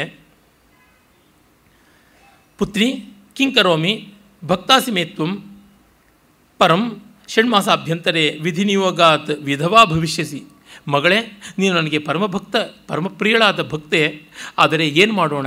ಇನ್ನು ಆರು ತಿಂಗಳೊಳಗೆ ನೀನು ವಿಧಿ ವಿಲಾಸದ ಕಾರಣದಿಂದ ಗಂಡನನ್ನು ಕಳ್ಕೊಂಡು ವಿಧಿವೇ ಆಗ್ಬಿಡ್ತೀಯಾ ಅಂತ. ತಥೋ ಮಯಾಭಿಹಿತಂ ಭಗವತಿ, ಯಥಾ ತ್ವಾಂ ಆಪದಂಬೆತ್ಸಿ ತಥಾ ತತ್ ಪ್ರತೀಕಾರಮಪಿ ಜಾನಾಸಿ. ತದಸ್ತಿ ಕಶ್ಚಿದುಪಾಯೋ ಏನ ಮೇ ಪತಿ ಶತಸಂವತ್ಸರ ಜೀವಿ ಭವತಿ. ಅಮ್ಮ ನನಗೆ ವಿಪತ್ತು ಬರುತ್ತೆ ಅಂತ ಹೇಳಬಲ್ಲ ಶಕ್ತಿ ಇದ್ದ ನೀನು ವಿಪತ್ತನ್ನು ದೂರೀಕಾರ ಮಾಡುವಂಥ ಒಂದು ಉತ್ತರವನ್ನು ಕೊಡಬೇಕು. ಅದಕ್ಕೆ ಬೇಕಾದ ಜಾಣ್ಮೆ ಕೂಡ ನಿನ್ನದೇ ಆಗಿರುತ್ತದೆ. ದಯಮಾಡಿ ತಿಳಿಸಬೇಕು. ಯಾವ ರೀತಿಯಾಗಿ ಮಾಡಿದರೆ ನನ್ನ ಗಂಡ ನೂರು ವರ್ಷ ಬದುಕ್ತಾನೋ ಆ ರೀತಿಯಾಗಿ ಉಪಾಯವನ್ನು ಹೇಳು ಅಂತ ಕೇಳಿದೆ. ತತಸ್ಥಯ ಅಭೀತಂ. ಆಗ ದೇವಿ ಅಶರೀರವಾಣಿಯಾಗಿ ಹೇಳ್ತಾಳೆ, ವತ್ಸೆ, ಸನ್ನಪಿ ನಾಸ್ತಿ, ಯತಸ್ತ್ವಯಾಯ ತ್ವಾಯತ್ನ ತವಾಯತ್ತಃ ಪ್ರತೀಕಾರ. ಉಪಾಯ ಇದ್ದರೂ ಇಲ್ಲಮ್ಮ ಯಾಕೆಂದರೆ ಅದು ನಿನ್ನ ಕೈಯಿಂದು ಅಂತ. ನೋಡಿ ಕ್ಲೈಮ್ಯಾಕ್ಸ್ ಹೇಗೆ ಬಿಲ್ಡ್ ಮಾಡ್ತಿದ್ದಾಳೆ. ತಚ್ಚುತ್ವ ಮಯಾಭೀತಂ ದೇವಿ. ಐತಿ ತನ್ನ ಮಮ ಪ್ರಾಣೇರ್ಭವತಿ ತದಾದೇಶ ಏನ ಕರೋಮಿ. ಅದನ್ನು ಪ್ರಾಣ ತೆಗೆದುವಂಥದ್ದಾಗಿದ್ದರೂ ಪರವಾಗಿಲ್ಲಮ್ಮ, ಹೇಳು, ಪ್ರಾಣೇರ್ಭವತಿ. ಆ ತೃತೀಯ ಬಹುವಚನ, ಮಮ ಪ್ರಾಣೇರ್ಭವತಿ ನನ್ನ ಪ್ರಾಣ ಬಲಿ ಕೊಟ್ಟಾದರೆ ಆಗುತ್ತೆಯೋ ಅದಕ್ಕೂ ಸಿದ್ಧ ಅಂತನ್ನುವುದು ಎಷ್ಟು ಸುಂದರವಾದ ಈಡಿಯಂ ತದಾದೇಶಯ ಏನ ಕರೋಮಿ. ಅಥ ದೇವ್ಯ ಅಭೀತಂ. ಯದದ್ಯ ಪರಪುರುಷೇಣ ಸಹೈಕಸ್ಮಿನ್ ಶಯನೆ ಸಮಾರುಹ್ಯ ಆಲಿಂಗನಂ ಕರೋಷಿ ತತ್ತವ ಭರ್ತೃ ಸಕ್ತಃ ಅಪಮೃತ್ಯು ತಸ್ಯ ಸಂಚರತಿ ಭರ್ತಾಪಿ ಪುನರ್ವರ್ಷಶತಂ ಜೀವತಿ ತೇನ ತಂ ಮಯ ಅಭ್ಯರ್ಥಿತ ತದ್ ಯತ್ಕಿಂಚಿತ್ ಕರ್ತುಂ ಕರ್ತುಮನಾಹ ತತ್ಕುರುಷ್ವ. ನಹಿ ದೇವತಾವಚನಂ ಅನ್ಯಥಾ ಭವಿಷ್ಯತಿ ಇತಿ ನಿಶ್ಚಯ. ನೋಡಮ್ಮ ಹಾಗಿದ್ದರೆ ನೀನು ಯಾವನಾದರೂ ಪರಪುರುಷನನ್ನು ಕರ್ಕೊಂಡು ಬಂದು ಆಲಿಂಗನ ವಿಲಾಸಗಳಲ್ಲಿ ತೊಡಗಬೇಕು. ಆಗ ನಿನ್ನ ಗಂಡನಿಗೆ ಬಂದ ಅಪಮೃತ್ಯು ಅವನಿಗೆ ಹೊರಟೋಗುತ್ತೆ. ನಿನ್ನ ಗಂಡ ಶರದಾಂಶತಂ ಜೀವತಿ. ಆನಂದವಾಗಿ ಬಾಳ್ತಾನೆ. ಮತ್ತು ಇದು ದೇವತಾ ವಚನ. ನಾನು ಪರಮೇಶ್ವರಿ ಚಂಡಿಕೆ ಹೇಳಿದ್ದೀನಿ. ಇದು ಎಂದೆಂದೂ ಸುಳ್ಳಾಗೋದಿಲ್ಲ. ಇದೆಲ್ಲವೂ ನಿನ್ನ ಕೈಯಲ್ಲಿದೆ. ನೀನು ಕಲ್ಲು ಮನಸ್ಸು ಮಾಡಿಕೊಂಡು ಮಾಡಲೇಬೇಕು. ಆಗ ನಿನ್ನ ಮಾಂಗಲ್ಯ ಬಲಕ್ಕೆ ಏನೂ ತೊಂದರೆ ಆಗೋದಿಲ್ಲ ಅಂತ. ತತಃ ಅಂತರ್ಹಾಸ ವಿಕಾಸಮುಖ ಸಹ ತದುಚಿತಂ ಆಚಚಾರ. ಇಲ್ಲಿ ನೋಡಿ ಪಂಚತಂತ್ರ ಕೆಲವು ರೀಡಿಂಗ್ ಇನ್ ಬಿಟ್ವೀನ್ ಲೈನ್ಸ್ ಮಾಡುತ್ತದೆ. ಅವನು ಮಂಚದ ಕೆಳಗೆ ಕೇಳಿಸ್ಕೊತಾ ಇದ್ದಾನೆ, ಕಾಣ್ತಾ ಇಲ್ಲ. ಇವಳು ಕೈ ಸನ್ನೆ, ಕಣ್ಣು ಸನ್ನೆನಲ್ಲಿ ಏನು ಮಾಡ್ತಾ ಇದ್ದಾಳೋ ಗೊತ್ತಿಲ್ಲ. ಅವನಿಗೆ ಬಂದ ಜಾರನಿಗೆ ಅದು ಅರ್ಥವಾಯಿತು. ನಗನಗ್ತಾ ಆಲಿಂಗನಾದಿಗಳನ್ನು ಮಾಡ್ದ. ಇವಳಿಗೆ ಬೇಕಾಗಿದ್ದದೆ. ಆದರೆ ಗಂಡನಿಗೆ ಕೇಳಬೇಕಾಗಿದ್ದೇನೋ ಅದು, ಬಾಯಲ್ಲೊಂದು ಕೈಯಲ್ಲೊಂದು ಆಗಿದೆ. ಆಮೇಲೆ ಸೋಪಿ ರಥಕಾರ ಮೂರ್ಖ ತಸ್ಯಾಸ್ತದ್ವಚರ್ಮ ಆಕರ್ಣ್ಯ ಪುಲಕ ಪುಲಕಾಂಚಿತ ತನು ಶಯ್ಯಾಯ ಅಧಸ್ಥಲಾದ್ ನಿಷ್ಕಮ್ಯ ನಿಷ್ಕ್ರಮ್ಯ ತಮಾಂ ವಾಚ ಸಾಧು ಪತಿವ್ರತೆ ಸಾಧು ಕುಲನಂದಿನಿ ಸಾಧು. ಅವನಿಗೆ ಆನಂದ, ರೋಮಾಂಚನ ಎಲ್ಲ ಆಗಿಬಿಟ್ಟಿದ್ರೂ ಎಲ್ಲ ವ್ಯಭಿಚಾರಿ ಭಾವಗಳು ಮೈ ತುಂಬಿಕೊಂಡು ಬಂದುಬಿಟ್ಟಿವೆ. ಆನಂದೋದ್ರೇಕ ಆಗಿ ಮಂಚದಿಂದ ಹೊರಕ್ಕೆ ಬಂದು ಕುಣಿದಾಡಿ, ಆಹಾ ಆಹಾ, ಇಂಥ ಮಹಾನುಭಾವಳೆ, ಇಂಥ ಮಹಾಸಾಧ್ವಿ ಪತಿವ್ರತೆ, ನೀನು ಮಹಾ ಪಂಚಮಹಾಪತಿವ್ರತೆಯಲ್ಲಿ ಆರನೇ ಒಳಗೆ ಸೇರಬೇಕಾದದ್ದು. ಅಹಂ ದುರ್ವಚನ ಶಂಕಿತ ಹೃದಯ, ತತ್ಪರೀಕ್ಷಾ ನಿಮಿತ್ತಂ ಗ್ರಾಮಾಂತರ ವ್ಯಾಜಂ ಕೃತ್ವ, ಅತ್ರ ಕಟ್ವಾದ ಸ್ಥಳೇ ನಿಭೃತಂ ಲೀನಃ, ತದೇಹಿ ಆಲಿಂಗಯ ಮಾಂ ನಾನು ನೋಡಿದ್ರೆ ಪಾಪಿ ಲೋಕಜನದ ಬಾಯನ್ನು ಕೇಳಿ ಅವರ ಮಾತಿಗೆ ಮರುಳಾಗಿ ಅವ್ರ ಚಾಡಿ ಮಾತನ್ನು ಕೇಳಿಕೊಂಡು ನಿನ್ನ ಮೇಲೆ ಪರೀಕ್ಷೆ ಮಾಡಿ ಕಂಡಿಡಬೇಕು ಅಂತ ಕಾಡಿಗೆ ಹೋಗಿ ಊರಿಂದ ಬೇರೆ ಊರಿಗೆ ಹೋಗ್ತೀನಿ ಅಂತ ನೆವದಲ್ಲಿ ಕಾಡಲ್ಲಿದ್ದು ಸಂಜೆ ಬಂದು ಹಿಂಬಾಗಲಿಂದ ಮಂಚದ ಕೆಳಗೆ ಸೇರಿಕೊಂಡ್ರೆ ನನ್ನ ಪ್ರಾಣಕ್ಕಾಗಿ ನೀನು ಶೀಲ ಕಳ್ಕೊಳ್ಳೋಂಥ ಸ್ಥಿತಿಗೆ ಬಂದಿದ್ಯಾ ಎಷ್ಟು ದೊಡ್ಡದು? ಅಂತ ಹೇಳಿ ಅಪ್ಪಿಕೊಳ್ಬೇಕು ಅಂತೆಲ್ಲ ಮಾಡ್ತಾನೆ. ಸ್ವಭರ್ತೃಭಕ್ತಾನಾಂ ಮುಖ್ಯ ನಾರೀಣಾಂ ಯದೇವಂ ಬ್ರಹ್ಮವ್ರತಂ ಪರಸಂಗೇಪಿ ಪಾಲಿತವತಿ. ಆಹಾ, ಗಂಡನ ಪ್ರಾಣಕ್ಕಾಗಿ ನೀನೆಲ್ಲ ಮಾಡ್ತಿದ್ದಿಲ್ಲ, ಇನ್ನೂ ಚೆನ್ನಾಗಿ ಮಾಡು ಇದನ್ನು. ಇದೇವಂ ಬ್ರಹ್ಮವ್ರತಂ ಪರಸಂಗೇಪಿ, ಪಾಲಿತವತಿ. ಪರಸಂಗದಲ್ಲಿ ಎಂಥ ಬ್ರಹ್ಮ ಸಮಾಧಿಯನ್ನು ಇಟ್ಕೊಂಡಿದ್ಯಾ ಅಂತೆಲ್ಲ. ಪಂಚತಂತ್ರ ಈ ಮಾಕ್ ಸೀರಿಯಸ್ನೆಸ್ಸನ್ನು ಅದೆಷ್ಟು ಚೆನ್ನಾಗಿ ಮುಂದಿಡುತ್ತದೆ ನೋಡಿ. ಮಮ್ಮ ಆಯುರ್ವೃದ್ಧಿ ಕೃತೆ ಅಪಮೃತ್ಯು ವಿನಾಶಾರ್ಥಂಚ ತ್ವಮೇವಂ ಕೃತವತಿ ನನ್ನ ಆಯುರ್ವೃದ್ಧಿಗಾಗಿ, ಅಪಮೃತ್ಯು ವಿನಾಶಕ್ಕಾಗಿ ಏನೆಲ್ಲ ಮಾಡ್ತಿದ್ಯಾ ಎಲ್ಲ ಮುಂದುವರಿಸು ಚೆನ್ನಾಗಿ. ತಾಮೇವ ಮುಕ್ತ ಸಸ್ನೇಹಂ ಆಲಿಂಗಿತವಾನ್. ಸ್ನೇಹದಿಂದ ಅಪ್ಪಿಕೊಳ್ತಾನೆ. ಸ್ವಸ್ಕಂಧೆ ತಾಮ್ ಆರೋಪ್ಯ. ತಮ್ಮಪಿ ದೇವದತ್ತು ಮುವಾಚ. ಅವಳನ್ನು ಹೆಗಲ ಮೇಲೆ ಹತ್ತಿಸಿ ಕೂಡಿಸ್ಕೊಂಡ್ಬಿಟ್ಟಂತೆ ಕುಣಿಯೋದಕ್ಕೆ ಆರಂಭ ಮಾಡ್ತಾನೆ. ಇನ್ನು ಆ ದೇವದತ್ತನಿಗೆ ಹೇಳ್ತಾನೆ ಬಹು ಮಹಾನುಭಾವ ಮತ್ಪುಣ್ಯೈ ತ್ವಂ ಯಹಾಗತಃ ನನ್ನ ಪುಣ್ಯಾನುಸಾರವಾಗಿ ನೀನು ಬಂದಿದ್ದೀಯಪ್ಪ. ನನ್ನ ಸಾವನ್ನು ನೀನು ತೊಗೊಳ್ಬೇಕು ಅಂತ ಬಂದಿದ್ದೀಯಲ್ಲ ಇಂಥ ಉದಾರಿ ಶಿಬಿ ದದೀಚಿ ಮೊದಲಾದವರು ಮಟ್ಟಕ್ಕೆ ಬಂದವನು. ತ್ವತ್ಪ್ರಸಾದಾನ್ ಮಮ. ಮಯ ಪ್ರಾಪ್ತಂ ವರ್ಷಶತಂ ಪ್ರಮಾಣ ಆಯು ನಿನ್ನ ಅನುಗ್ರಹದಿಂದ, ನಿನ್ನ ತ್ಯಾಗದಿಂದ ನನಗೆ ನೂರು ವರ್ಷ ಆಯುಷು ಸಿಕ್ತು. ತತ್ವಮಪಿ ಮಾ ಮಾಲಿಂಗ್ಯ ಮತ್ತು ಕಂದೇ ಸಮಾರೋಹ. ಹಾಗಾಗಿ ನೀನು ಅಪ್ಪಿಕೋ ನನ್ನನ್ನು ನಿನ್ನನ್ನು ಹೆಗಲ ಮೇಲೆ ಕೂಡಿಸ್ಕೋತೀನಿ ಅಂತ ಒಂದು ಕಡೆ ಜಾರಿಣಿಯಾದ ಹೆಂಡತಿಯನ್ನು ಮತ್ತೊಂದು ಕಡೆ ಆ ಜಾರನನ್ನು ಇಬ್ಬರನ್ನು ಹೆಗಲ ಮೇಲೆ ಹತ್ತಿಸ್ಕೊಂಡು ಕುಣಿಯೋದಕ್ಕೆ ಆರಂಭ ಮಾಡಿದನಂತೆ. ಇತಿ ಜಲ್ಪನ್ ಅನಿಚ್ಛಂತಮಪಿ ದೇವದತ್ತಮ್ಮ ಆಲಿಂಗ್ಯ ಬಲಾತ್ ಸ್ವೀಯ ಸ್ಕಂಧ ಆರೋಪಿತವಾನ್. ಅವನು ಪಾಪ ಮುಜುಗರ ಪಟ್ಕೊಂಡು ಹಿಂದೆ ಹೋಗ್ತಾ ಇದ್ರು, ಹೆಗಲ ಮೇಲೆ ಅನ್, ಹತ್ತಿಸ್ಕೋತಾನಂತೆ. ಅವನಿಗೇನು ಮುಸುಮುಸಿ ನಗು ಬರ್ತಾ ಇತ್ತು. ತತಶ್ಚ ನೃತ್ಯಂ ಕೃತ್ವ. ಹೆಗಲ ಮೇಲೆ ಹತ್ತಿಸ್ಕೊಂಡು ಮನೆಯೆಲ್ಲ ಹಳ್ಳ ಬೀಳೋ ಥರ ಕುಣಿದು ಆಮೇಲೆ ಅವನು ಹೇ, ಬ್ರಹ್ಮವ್ರತ ಧರಾಣಾಂ ಧುರೀಣ. ತ್ವಯಾಪಿ ಮೈ ಉಪ, ಮೈ ಮೈ ಉಪಕೃತಂ. ನೀನು ಇಂಥ ಬ್ರಹ್ಮವ್ರತವನ್ನು ಮಾಡುವುದರ ಧುರೀಣ, ಇಂಥ ಮಹಾನುಭಾವ ಅಂಥೇಳಿ ಮತ್ತೆ ಅವನನ್ನು ಹೆಗಲಿಂದ ಇಳಿಸಿ ಮತ್ತು ಬಂಧುಗಳ ಮನೆಗೆಲ್ಲ ಹೋಗಿ ನನ್ನ ಹೆಂಡತಿಯಿಂದಾಗಿ ನನಗೆ ಎಂಥ ದೊಡ್ಡ ಆಯುಷ್ಯ ಸಿಕ್ಕಿಬಿಡ್ತು ಎಂಥ ಆಯುರ್ದಾಯದ ಅಪಘಾತ ಆಗುವ ಪ್ರಮಾಣ ಇದ್ದದ್ದು, ತಪ್ಪೋಯಿತು ಅಂತೆಲ್ಲ ಬಂಧುಗಳ ಮಿತ್ರರ ಮನೆಗೆಲ್ಲ ಹೋಗಿ ನೀವೆಲ್ಲ ಹಾಳು ಮೂಳು ಮಾತುಗಳು ಆಡ್ತಾ ಇದ್ರಲ್ಲ, ನೋಡಿ ನೋಡಿ ಅಂತ ಅಂದ್ಕೊಂಡು ಬರ್ತಾನೆ. ತತ್ರ ತಯೋರು ಭಯೋರಪಿ ತದ್ಗುಣವರ್ಣನ ಮಕರೋತ್. ನೋಡಿ, ಇವರಿಬ್ಬರಿಂದ ನನ್ನ ಪ್ರಾಣ ಉಳಿಯಿತು ಅಂತ ಅವ್ರನ್ನ ಎದುರಿಗೆ ನಿಲ್ಲಿಸ್ಕೊಂಡಿಲ್ಲ, ಮೆರವಣಿಗೆ ಮಾಡಿದ್ರಂತೆ ಇದು ಎಕ್ಸಾಜರೇಟೆಡ್ ಆಗಿರಬಹುದು. ಆದರೆ ಸತ್ಯ ಏನೆಂದರೆ ತಾತ್ಪರ್ಯ, ಕಾವ್ಯ ಸತ್ಯ ಕಣ್ಣೆದರಿಗೆ ಅನ್ಯಾಯ ಆಗ್ತಾ ಇದ್ದರೂ ಅದು ನ್ಯಾಯ ಅಂತ ನಾವು ಅಂದುಕೊಂಡು ಬಿಡ್ತೀವಿ ಅಂತ. ನಮ್ಮ ಸೆಕ್ಯುಲರಿಸಮ್ಗೆ ಮರಳಾದಂಥದ್ದೆಲ್ಲದರ ಪಾಡು ಇದೇನೆ, ಇನ್ಯಾವುದೂ ಅಲ್ಲ. ಏನೋ ಆನಂದಿಸ್ಬಿಡ್ತಾರೆ. ಅಯ್ಯೋ, ಇಸ್ಲಾಮಿನ ಕ್ರೈಸ್ತ ಮತದ ಆ ಔದಾರ್ಯ, ಆ ಮಹನೀಯತೆ ಅದೆಷ್ಟು ಎಷ್ಟು ಅಂತೆಲ್ಲ ಕೊಂಡಾಡ್ತಾರೆ. ಅರೆ ಸನಾತನ ಧರ್ಮದನ್ನು ಮಾತ್ರ ಶತಧಾ ಸಹಸ್ರಧ ನಿಂದಿಸ್ತಾರೆ. ಮತ್ತು ಆ ಮತಗಳ ಉದ್ಧಾರದಲ್ಲಿಯೇ ಭಾರತ ದೇಶದ ಉದ್ಧಾರ ಇದೇನು ಅಂತ ಅಂತಾರೆ. ಆ ಮತಗಳಿರ್ತಕ್ಕಂಥ ದೇಶ ಯಾವ ಮಟ್ಟಕ್ಕೆ ಉದ್ಧಾರವಾಗಿದೆ? ಇವತ್ತು ಹಿಂದೂಗಳು ಎಷ್ಟು ಜನ ಇದ್ದಾರೆ ಟ್ಯಾಕ್ಸ್ ಪೇಯರ್ಸು ನಾನ್ ಹಿಂದೂಸ್ ಎಷ್ಟು ಜನ ಇದ್ದಾರೆ?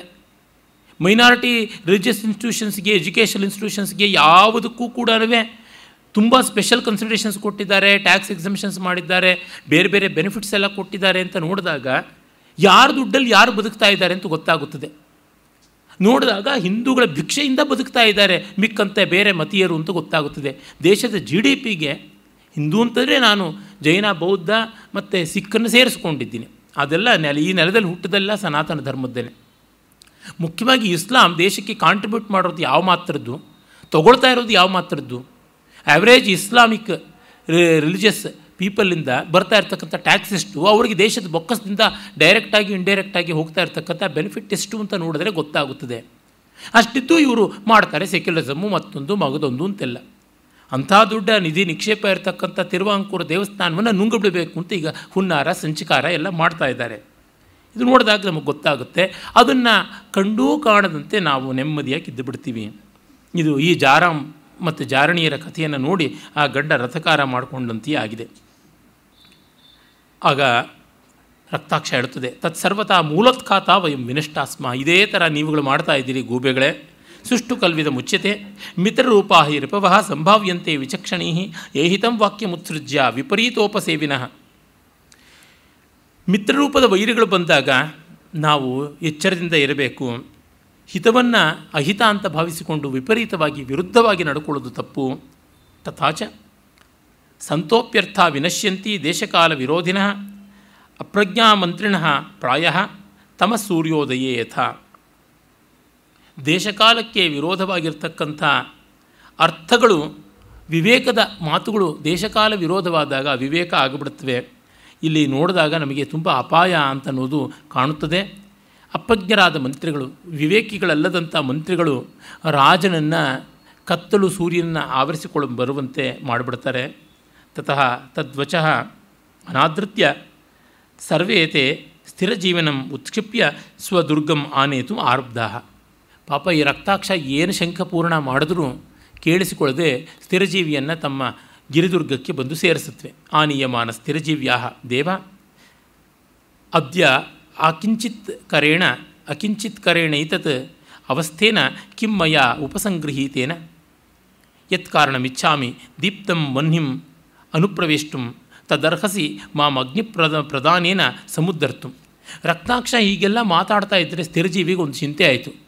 ಒಂದು ಪಕ್ಷ ಇದರ ಮಾತನ್ನು ಗೂಬೆಗಳು ಕೇಳಿಬಿಟ್ರೆ ಗತಿ ಏನು ಅವುಗಳಿಗೆ ನಂಬಿಕೆ ಬರೆಸಬೇಕು, ಅರಿಮರ್ದನ ಅನ್ನುವ ಈ ಗೂಕರಾಜನಿಗೆ ಇನ್ನಷ್ಟು ವಿಶ್ವಾಸೋತ್ಪಾದನ ಮಾಡಬೇಕು. ಅದಕ್ಕಾಗಿ ಅದು ಹೇಳುತ್ತದೆ, ಸ್ವಾಮಿ, ಇಂಥ ಬಡಪಾಯಿ ನಾನು ಈ ದುಸ್ಥಿತಿಯಲ್ಲಿದ್ದೀನಿ, ಜೀರ್ಣ ಶೀರ್ಣನಾಗಿದ್ದೀನಿ, ವಯಸ್ಸಿನಿಂದ ದುರ್ಬಲನ ಆಗಿದ್ದೀನಿ, ಮುಪ್ಪಿನವನಾಗಿದ್ದೀನಿ, ಬುದ್ಧಿಯೂ ಮಂಕಾಗ್ತಿದೆ, ಇಂಥ ನನ್ನಿಂದ ಏನಾಗುತ್ತದೆ?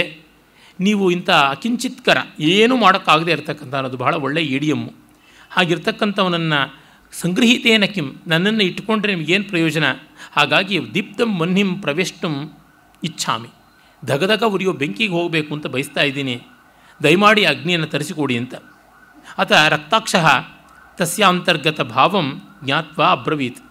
ಕಿಮರ್ಥಂ ಅಗ್ನಿಪತನ ಮಿಚ್ಛಸಿ. ಆಗ ರಕ್ತಾಕ್ಷ ಕೇಳುತ್ತೆ, ಬೆಂಕಿಗೆ ಬೀಳುವಂಥದ್ದು ಏನು ಬಂತು ನಿಮಗೆ ಸೋಬ್ರವೀತ್ ಆಗ ಸ್ಥಿರಜೀವಿ ಹೇಳ್ತದೆ, ಅಹಂ ತಾವತ್ ಯುಷ್ಮದರ್ಥ ಇಮಾಂ ಆಪದಂ ಮೇಘವರ್ಣೇನ ಪ್ರಾಪಿತ. ನಿಮ್ಮ ಪರವಾಗಿ ವಾದ ಮಾಡಿ ನನ್ನ ರಾಜನಿಂದ ಈ ದುಸ್ಥಿತಿಗೆ ಬಂದ ತಳ್ಳಲ್ಪಟ್ಟೆ ನಾನು. ತದಿಚ್ಛಾಮಿ ತೇಷಾಂ ವೈರ ಆಯತನಾರ್ಥಂ ಉಲೂಕತ್ವಂ. ಹಾಗಾಗಿ ಮುಂದಿನ ಜನ್ಮದಲ್ಲಿ ನಾನು ಗೂಬೆ ಆಗಬೇಕು ಅಂತ ಈ ಕೆಲಸ ಮಾಡ್ತಾ ಇದ್ದೀನಿ. ಬಂದು ನನ್ನ ರಾಜನ ಮೇಲೆ, ಮೇಘವರ್ಣನ ಮೇಲೆ, ಅವನ ಪರಿವಾರದ ಮೇಲೆ ಸೇಡು ತೀರಿಸ್ಕೊಳ್ಬೇಕು. ಈ ಶೀರ್ಣ ಜೀರ್ಣ ಶರೀರದಿಂದ ಪ್ರಯೋಜನವಿಲ್ಲ. ಇದನ್ನು ವಾಸಾಂಸಿ ಜೀರ್ಣಾನಿ ಯಥಾ ವಿಹಾಯ ಅಂತ ಗೀತಾವಾಕ್ಯದಂತೆ ಬಿಸಾಕಿ ಮತ್ತೆ ಅದ್ಭುತವಾದ ರೇಷ್ಮೆ ಜರತಾರಿ ಜನ್ಮ, ಗೂಬೆ ಜನ್ಮ ಅದನ್ನು ಪಡ್ಕೊಂಡು ಸೇಡ್ ತೀರಿಸ್ಕೊಳ್ಬೇಕು ಅಂತಿದ್ದೀನಿ ಅಂತ. ಯಾರಾದರೂ ನೋಡಿ ಈ ಥರದ ಮಾತುಗಳನ್ನು ನಮ್ಮ ಮಾಜಿ ಪ್ರಧಾನಿಯವರು ಇಲ್ಲೇ ಹೇಳಿದರು. ಈ ಮುಂದಿನ ಜನ್ಮದಲ್ಲಾದರೂ ನಾನು ಮುಸಲ್ಮಾನ ಆಗಬೇಕು ಅಂತ. ಏನು ಕಷ್ಟ ಇದೆ ಈ ಜನ್ಮದಲ್ಲೇ ಆಗಲಿ ಅಂತ. ಇದು ಇದು ಇದೇ ಥರದ್ದೇನೆ ಮಾತುಗಳು, ಇನ್ನೇನು ಅಲ್ಲ, ಪ್ರತಾರಣ. ಮತ್ತಾವುದೂ ಅಲ್ಲ. ನರೇಂದ್ರ ಮೋದಿ ಸಿಂಹಾಸನ ಏರಿದ್ರೆ ನಾನು ದೇಶಾಂತರಕ್ಕೆ ಹೋಗ್ತೀನಿ ಅಂತ. ಮೊನ್ನೆ ಅದಕ್ಕೆ ಭೈರಪ್ಪನವ್ರು ಹೇಳಿದ್ರು, ಮೊದಲು ಬೊಕೆ ಇಟ್ಕೊಂಡು ಇವರೇ ಹೋಗ್ತಾರೆ ಅಂತ. ಆ ರಥಕಾರನ ಪತ್ನಿ ಇದ್ದಾಳಲ್ಲ, ಅವಳು ಇವರ ಹತ್ರ, ಇವರ ಪಾದಮೂಲದಲ್ಲಿ ಪಾಠ ಕಲಿತಿದ್ದಾಳೆ. ಅದು ಡ್ರಾಪ್ ಔಟ್ ಪಾಪ. ಅವಳಿಗೆ ಅಷ್ಟು ಬುದ್ಧಿ ಇದೆ. ಆ ಥರದವ್ರನ್ನ ಟ್ರೈನ್ ಮಾಡಿದಂಥ ಮಹಾನುಭಾವರಲ್ವೇ ಇವರು. ಹೀಗಾಗಿ ಈ ಥರದ ಕಾಪಟ್ಟಿಗಳನ್ನು ಮಾಡಿದರೆ ಮುಂದಿನ ಜನ್ಮ ಇದ್ದರೆ ಅದರೊಳಗಾದರೂ ಆಗುತ್ತದೆ ಅಂತ. ಅವೆಲ್ಲ ಅಲ್ಲ, ನಾಳೆ ಇದ್ದರೆ ದವಸ ಧಾನ್ಯ ಭಿಕ್ಷೆ ಹಾಕ್ತೀನಿ ಅಂತ.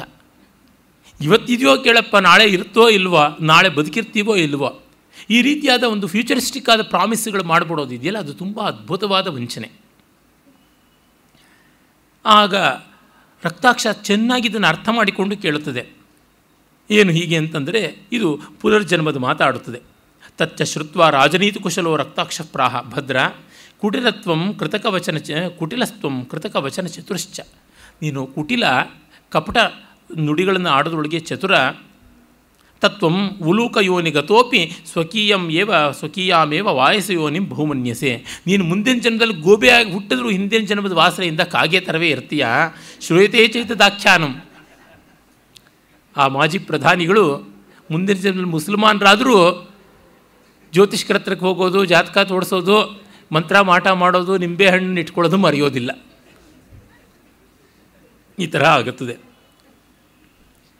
ಸೂರ್ಯಂ ಭರ್ತಾರ ಉತ್ಸೃಜ್ಯ ಪರ್ಜನ್ಯಂ ಮಾರುತಂ ಗಿರಿಂ ಸ್ವಜಾತಿ ಮೂಷಿಕಾ ಪ್ರಾಪ್ತ ಸ್ವಜಾತಿರ್ ದುರತಿಕ್ರಮ.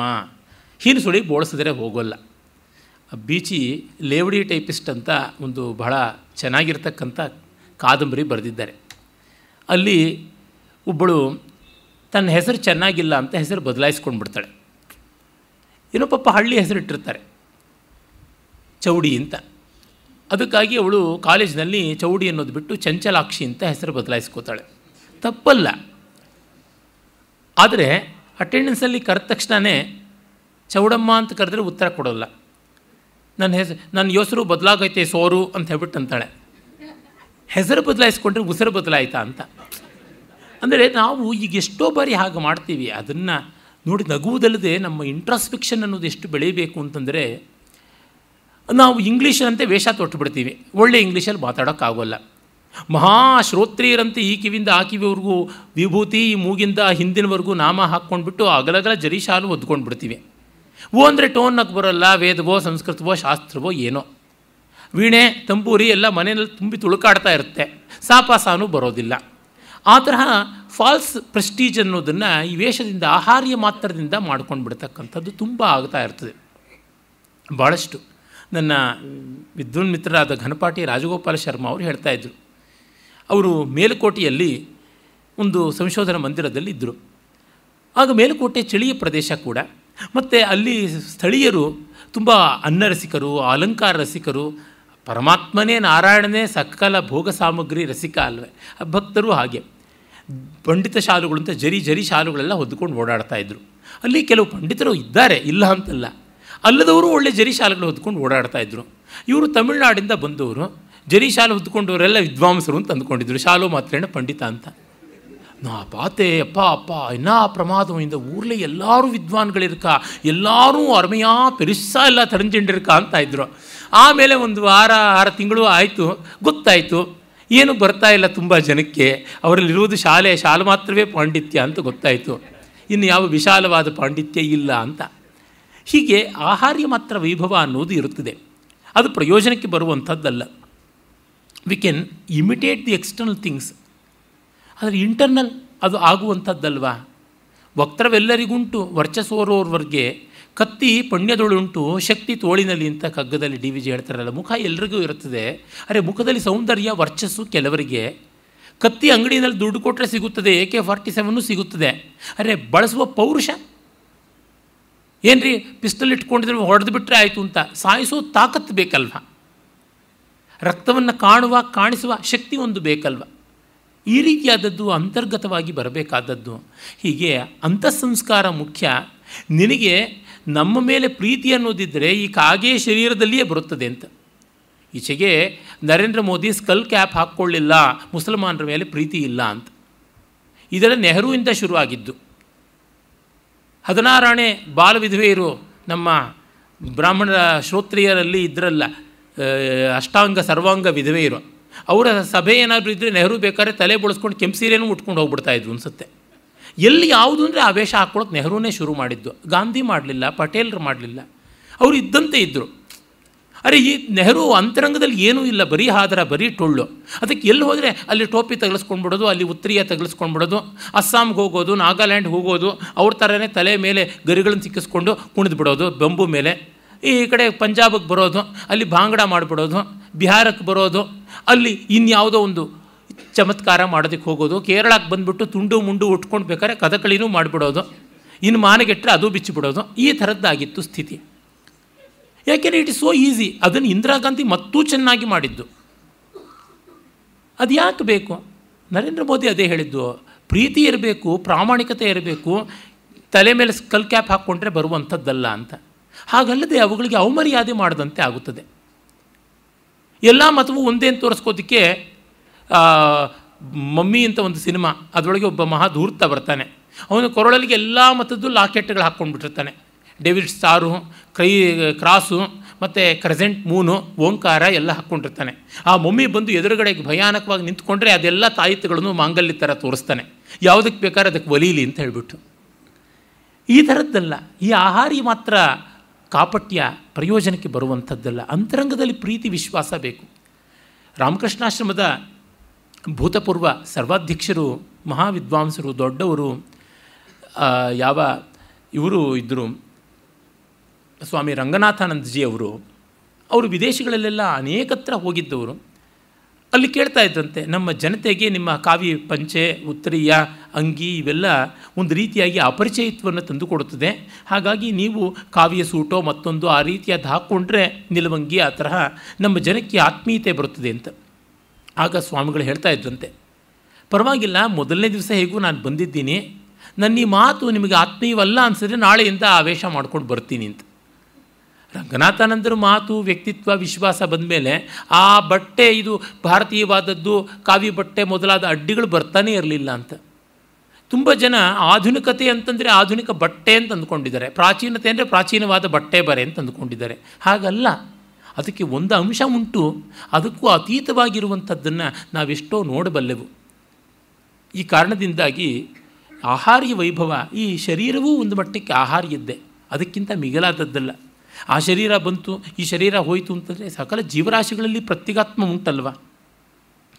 ಆ ಒಂದು ಪರಮ ವೇದಾಂತ ತತ್ವದವರೆಗೆ ಈ ರಾಜನೀತಿಯನ್ನು ಪಂಚತಂತ್ರ ಏಳಿಸುತ್ತೆ. ಅದು ಹೇಳುತ್ತದೆ, ಹಿಂದೆ ಒಂದು ಹೆಣ್ಣು ಇಲಿ ಮರಿ ಹೆಣ್ಣಾಯಿತು, ಮಾನವ ಸ್ತ್ರೀ ಆಯಿತು. ಆಮೇಲೆ ಅದಕ್ಕೆ ಗಂಡಾಗಿ ಬೆಟ್ಟವನ್ನು, ವಾಯುವನ್ನು, ಅಂದರೆ ಪರ್ವತೇಶ್ವರನನ್ನು, ವಾಯುವನ್ನು, ಆ ಬಳಿಕ ಸೂರ್ಯನನ್ನು, ಮೋಡವನ್ನು, ಮೇಘವನ್ನು, ಹೀಗೆ ಬೇರೆ ಬೇರೆ ದೇವತೆಗಳನ್ನು ಕೇಳಿ ಯಾರನ್ನು ಒಪ್ಪಿಕೊಳ್ಳದೆ ಕಡೆಗೆ ತನ್ನ ಜನ್ಮಾಂತರ ವಾಸನೆಯಿಂದ ಒಂದು ಎಲಿಯನ್ನೇ ಮದುವೆ ಆದದ್ದು ಬೇರೆ ಇದನ್ನು ಅಲ್ಲ ಅಂತ. ಕಥಮೈತತ್ ಅಂತ ಮಂತ್ರಿಗಳು ಕೇಳತ್ವೆ. ಪ್ರಶ್ನೆ ಕೇಳ ಕೇಳಿದಾಗ ರಕ್ತಾಕ್ಷ ಹೇಳುತ್ತದೆ. ಅಸ್ತಿ ವಿಷಮ ಶಿಲಾತಲ ಸ್ಖಲಿತ ಅಂಬು ನಿರ್ಘೋಷ ಶ್ರವಣ ಸಂತ್ರಸ್ತಂ.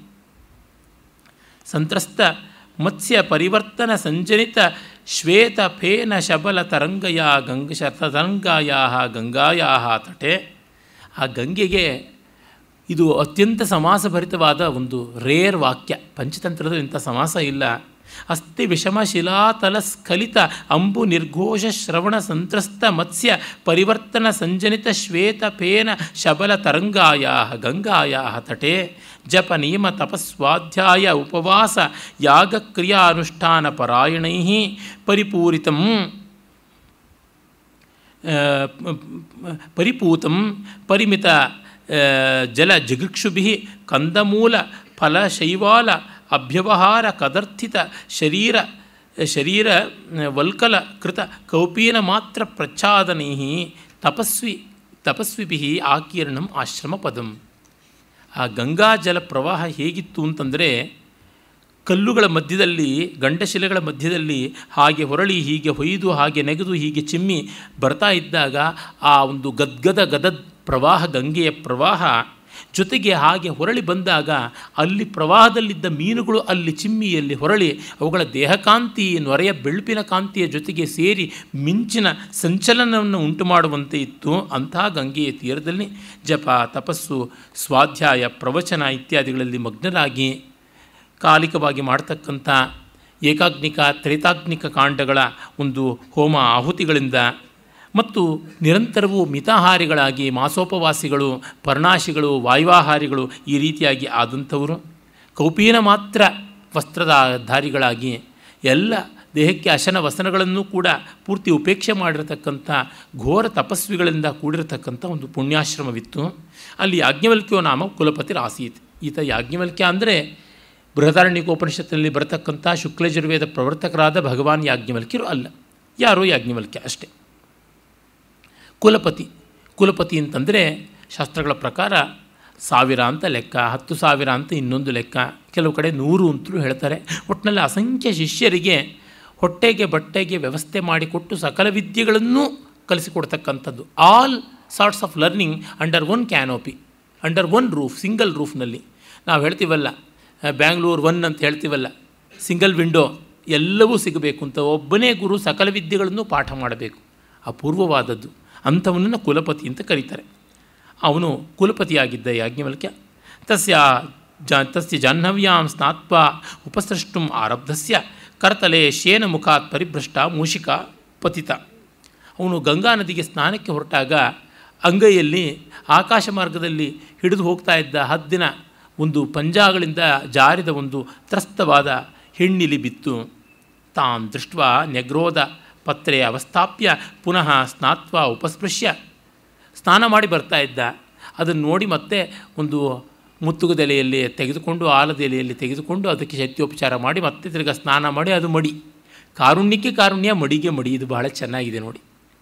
ನಮ್ಮ ಹಳೆ ಕಾಲದವರಲ್ಲಿ ಈ ಥರದ ವಿಚಿತ್ರ ಸ್ವಭಾವಗಳು ಕಾಣುತ್ತವೆ. ಜೀವಪ್ರೀತಿ ಅವೆಲ್ಲ ಉಂಟು. ಮಡಿಗೆ ಮಡಿಯಂತೂ ಉಂಟೇ ಉಂಟು.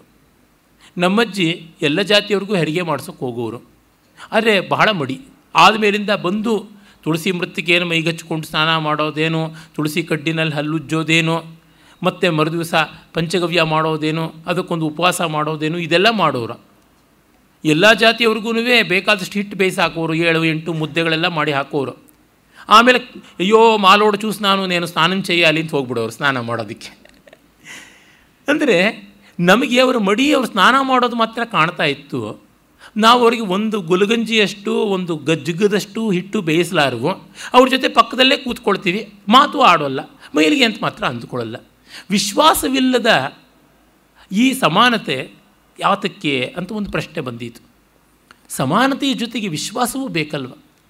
ನಮ್ಮಲ್ಲಿ ಎಷ್ಟೋ ಬಾರಿ ಕೆಲವು ಮುಕ್ತವಾದ ವ್ಯವಸ್ಥೆಗಳು ಇರುತ್ತವೆ.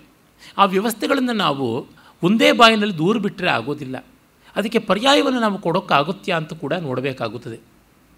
ಉದಾಹರಣೆಗೆ ಆಯುರ್ವೇದ ಶಾಸ್ತ್ರವನ್ನೇ ನೋಡಿ. ಅದು ಈ ಆಧುನಿಕ ವೈದ್ಯಕೀಯದ ಮುಂದೆ ಸ್ವಲ್ಪ ಹಿಂದಾದದ್ದು. ಯಾಕೆಂದರೆ ತುಂಬ ಜನಕ್ಕೆ ಗೊತ್ತಿಲ್ಲ ವೈದ್ಯ ಪದ್ಧತಿಯಲ್ಲಿ ಎರಡು ಬಗೆಯ ರೀತಿ ಉಂಟು. ಒಂದು ಕ್ಲಿನಿಕಲ್ ಪಿಕ್ಚರ್ ಅಂತ, ಇನ್ನೊಂದು ಲ್ಯಾಬ್ ಪಿಕ್ಚರ್, ಲ್ಯಾಬೊರೇಟರಿ ಪಿಕ್ಚರ್ ಅಂತ. ಕ್ಲಿನಿಕಲ್ ಪಿಕ್ಚರ್ ಅಂದರೆ ಚಿಕಿತ್ಸಾಲಯಕ್ಕೆ ಹೋದಾಗ ವೈದ್ಯ ಮಿನಿಮಮ್ ಎಕ್ವಿಪ್ಮೆಂಟ್ಸ್ ಇಟ್ಕೊಂಡು ಕೈನಲ್ಲಿ ನಾಡಿ ಮಿಡಿತ ನೋಡ್ತಕ್ಕಂಥದ್ದು, ಕಣ್ಣನ್ನು ತೆಗೆಸಿ, ಬಾಯನ್ನು ತೆಗೆಸಿ ಪರೀಕ್ಷೆ ಮಾಡ್ತಕ್ಕಂಥದ್ದು, ಮತ್ತು ಹೆಚ್ಚಂದರೆ ಒಂದು ಸ್ಟೆಥೋಸ್ಕೋಪ್ ಇಟ್ಕೊಂಡು ದೇಹ ಪರೀಕ್ಷೆ ಮಾಡ್ತಾನೆ. ಈ ಥರದ ಪರೀಕ್ಷೆ ಕೈ ಮಡಚು, ಕಾಲು ಮಡಚು ಅಂತಕ್ಕಂಥದ್ದು. ಸ್ಲಿಪ್ ಡಿಸ್ಕ್ ಆಗಿದೆಯಾ ಅಂತಂದರೆ ಕಾಲನ್ನು ಮೇಲಕ್ಕೆ ಎತ್ತಿ, ಇಳಿಸಿ, ಮಡಚಿ ಅಂತ ಹೇಳ್ಬಿಟ್ಟು ಅಂತಾನೆ. ಮತ್ತು ಯಾವುದೋ ಒಂದು ಸುತ್ತಿಗೆ ಥರದ್ದು ಇಟ್ಕೊಂಡು ಕೈ ಕಾಲುಗಳನ್ನೆಲ್ಲ ಟಕ ಟಕ ಟಕ ಅಂತ ಶಿಲ್ಪಿ ಎಲ್ಲಾದರೂ ಕಲ್ಲಲ್ಲಿ ದೋಷ ಇದೆಯಾ ಅಂತ ಪರೀಕ್ಷೆ ಮಾಡುವಂತೆ ಮಾಡ್ತಾನೆ. ಇಲ್ಲ ಒಂದು ಸಣ್ಣ ಸೂಜಿ ಇಟ್ಕೊಂಡು ಸಣ್ಣ ಸಣ್ಣ ಸಣ್ಣ ಸಣ್ಣದಾಗಿ ಇರುವೆ ಹಚ್ಚಿದಂಗೆ ಚುಚ್ಚಿ ಯಾವ ಮಟ್ಟಕ್ಕೆ ಸೆನ್ಸೇಷನ್ ಇದೆ ಅಂತ ನೋಡೋದು. ಈ ಥರದ್ದೆಲ್ಲ ಮಾಡ್ತಾರೆ.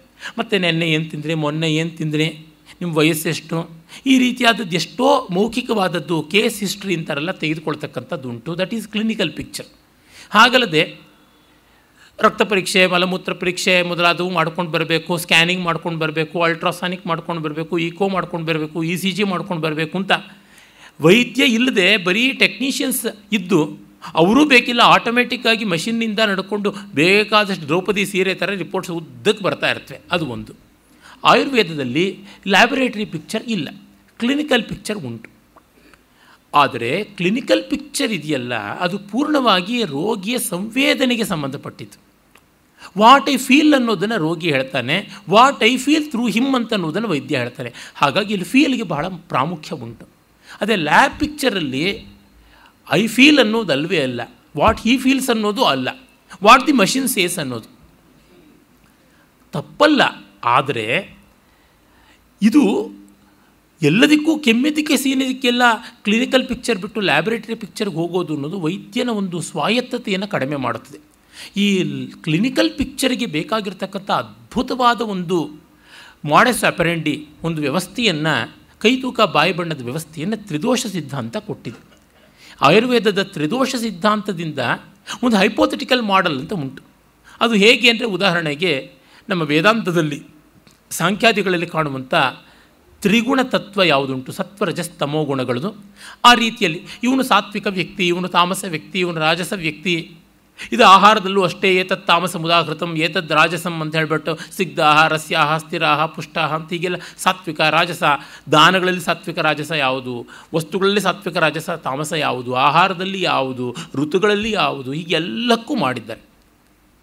ಅದನ್ನು ಕರಾರವಕ್ಕಾಗಿ ಗೆರೆಗೀಚಿದಂತೆ ಯಾರೂ ಹೇಳೋಕ್ಕಾಗೋಲ್ಲ. It works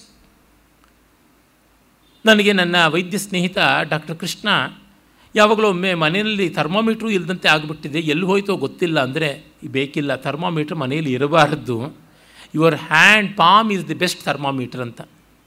If you feel you have fever then you have it ಏನೋ ಜ್ವರ ಬಂದಂಕಿದೆ ಫೀವರಿಶ್ ಆಗಿದ್ದೀವಿ ಅಂತಂತೀರಲ್ಲ ಅದು. ಅಂದರೆ ನಮ್ಮ ಸಂವೇದನೆಗೆ ಹೆಚ್ಚಿನ ಬೆಲೆ ಉಂಟು. ಅದರ ಮೇಲೆ ಈ ತ್ರಿದೋಷ ಸಿದ್ಧಾಂತ ಆಯುರ್ವೇದದಲ್ಲಿ ರೂಪುಗೊಂಡಿದೆ. ಅದನ್ನು ತುಂಬ ಪರ್ಫೆಕ್ಟ್ ಮಾಡ್ತೀವಿ ಅಂತ ಹೊರಟಾಗ ಅದೇನಾಗುತ್ತೆ? ಮನುಷ್ಯರಿಗೆ ಎಟಕದೇ ಇರತಕ್ಕಂಥದ್ದಾಗುತ್ತದೆ. ಅದಕ್ಕೊಂದು ದೃಷ್ಟಾಂತ ಕೊಡಬೇಕು ಅಂದರೆ ನಾವು ಮನೆಯಲ್ಲಿ ಅಡುಗೆಯನ್ನು ಹೇಗೆ ಮಾಡ್ತೀವಿ? ಯಾವ simple balance physical balance chemical balance ಯಾವುದೂ ಇಟ್ಕೊಳ್ಳೋದಿಲ್ಲ. ಸಿಂಗಲ್ ಪ್ಯಾನ್ ಬ್ಯಾಲೆನ್ಸು ಈ ಥರದ್ದು ಯಾವುದೂ ಇರೋದಿಲ್ಲ. ತೂಕ ಗೀಕ ಇಲ್ಲ. ರುಚಿಗೆ ತಕ್ಕಷ್ಟು ಉಪ್ಪು ಕೈ ಅಳತೆಯಲ್ಲಿ ಬೇಳೆ ಈ ಥರದ್ದೇ ನಾವು ಮಾಡ್ತೀವಿ. ಅದಕ್ಕಿಂತ ಹೆಚ್ಚಿಂದೇನೂ ಅಲ್ಲ, ನಮಗೆ ಆ ಪಾತ್ರೆ ಪರಿಕರ ನೋಡಿ ಅಭ್ಯಾಸ ಆಗಿ ಮಾಡ್ತಾ ಇರ್ತೀವಿ. ಇಲ್ಲ, ಈ ಥರ ಮಾಡಿದ್ರೆ ಆಹಾರ ಅಲ್ಲ, ಇದು ರುಚಿ ಅಲ್ಲ ಪರ್ಫೆಕ್ಟ್ ರುಚಿ ಅನ್ನೋದು ಬೇರೆಯೇ ಉಂಟು. ಅಂತ ಮಾಡಿದಾಗ ಯಾರು ಮನೆಯಲ್ಲಿ ಅಡುಗೆ ಮಾಡೋಕ್ಕಾಗೋಲ್ಲ. ಎಲ್ಲೋ ನಮ್ಮೂರ ಹೋಟೆಲ್ ಥರದಲ್ಲಿ ಒಂದು ಕಡೆ ಎಲ್ಲ ಪರ್ಫೆಕ್ಟಾಗಿ ಮಾಡಿರ್ತಾರೆ, ಅಲ್ಲಿಂದ ನಾವು ತೊಗೊಂಡು ಬರಬೇಕಾಗುತ್ತದೆ.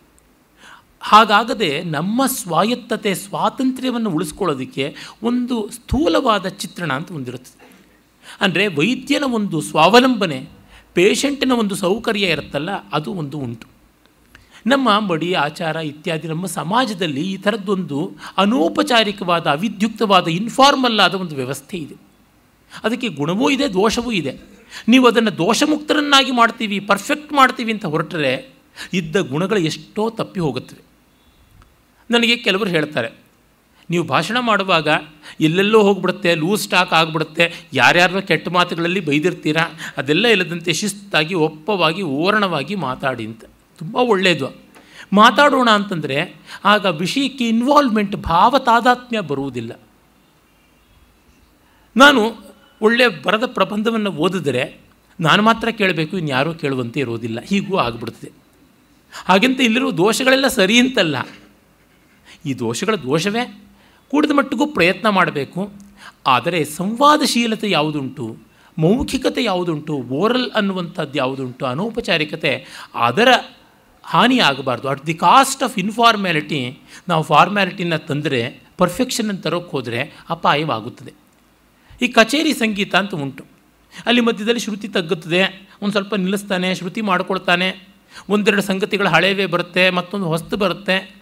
ಆದರೂ ಕಚೇರಿ ಸಂಗೀತಕ್ಕಿರುವ ಆ ಕಲಾವಿತ್ ಸಹೃದಯ ಸಮಾಗಮದಿಂದ ಉಂಟಾಗುವ ಕಲೆಯ ಸ್ವಾರಸ್ಯ ಕ್ಯಾಸೆಟ್ ಸಂಗೀತದಲ್ಲಿ ಇಲ್ಲದೆ ಇನ್ಯಾವುದೋ ಒಂದು ಫ್ಲೇವರ್, ಇನ್ಯಾವುದೋ ಒಂದು ಲೆಸ್ಟರ್ ಮತ್ತು ಯಾವುದೋ ಒಂದು ಟೇಸ್ಟ್ ಅದು ಇರುತ್ತದೆ ಅಂತ ಅನಿಸುತ್ತದೆ. ಹೀಗೆ ಇರುವಂಥದ್ದನ್ನು ನಾವು ಒಪ್ಪಿಕೊಳ್ಳಬೇಕು.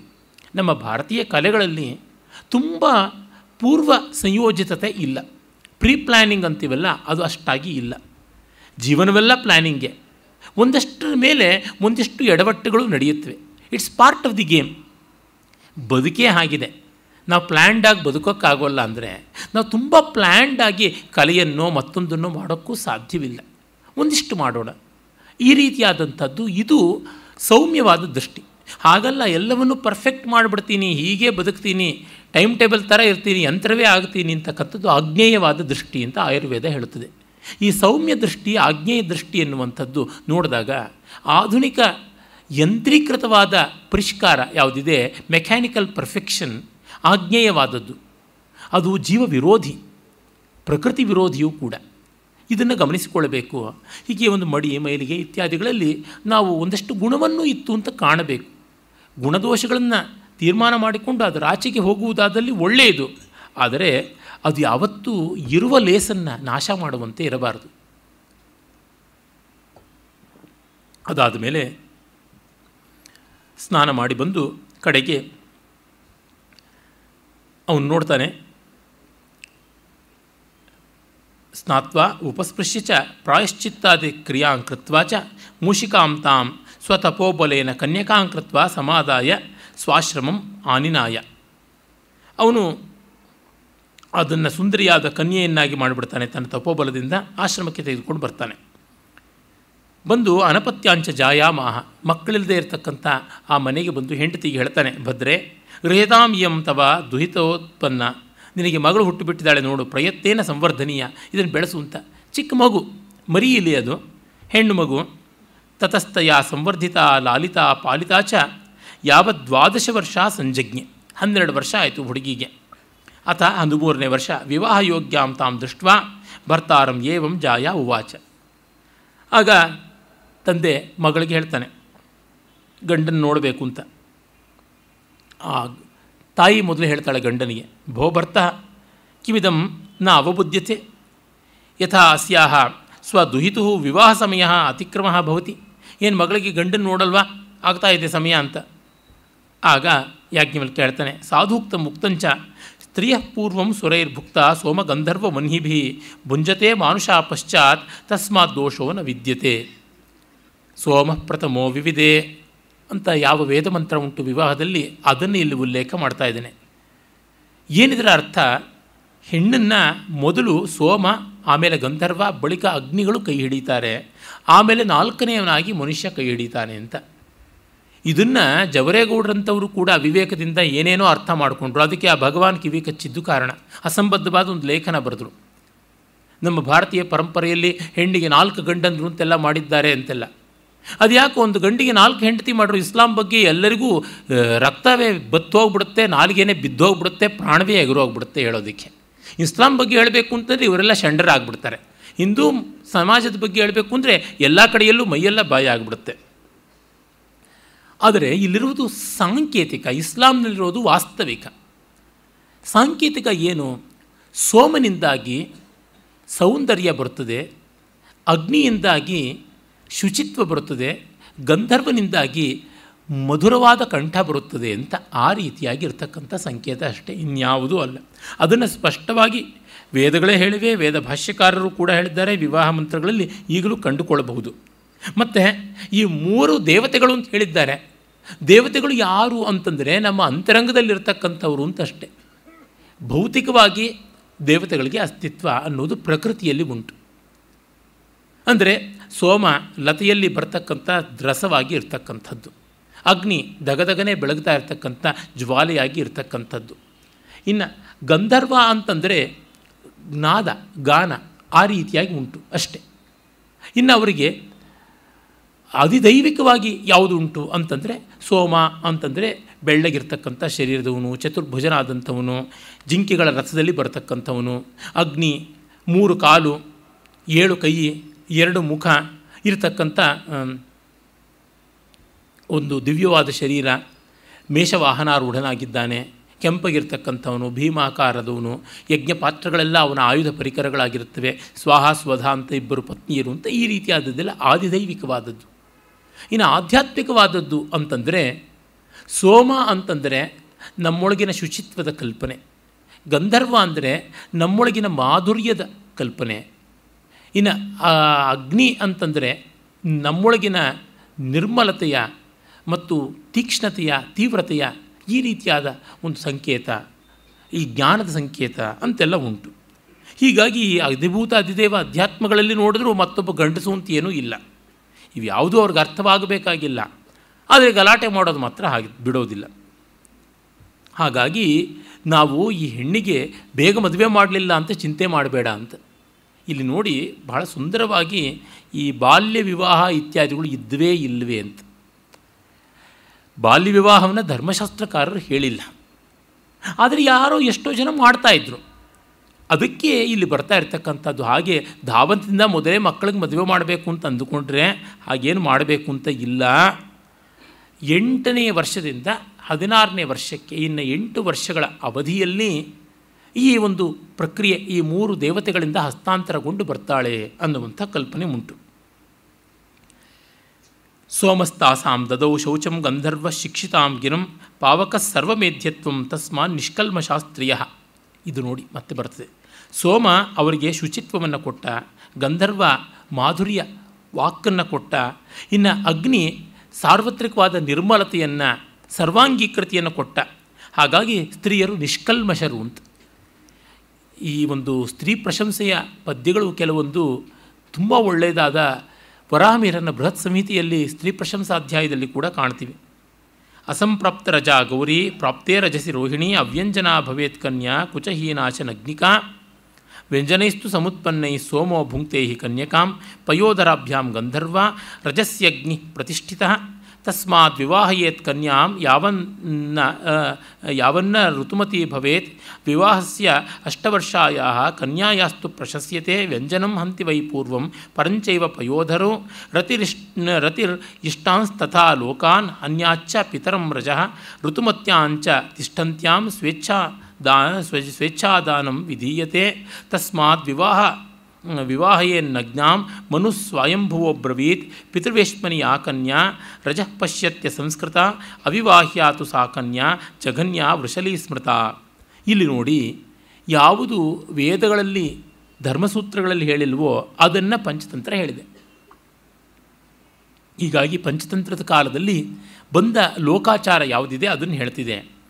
ಇದು ನಮಗೆ ಆ ಕಲ್ಚರಲ್ ಕಾಂಟೆಕ್ಸ್ಟಿಂದ ಗೊತ್ತಾಗತಕ್ಕಂಥದ್ದು.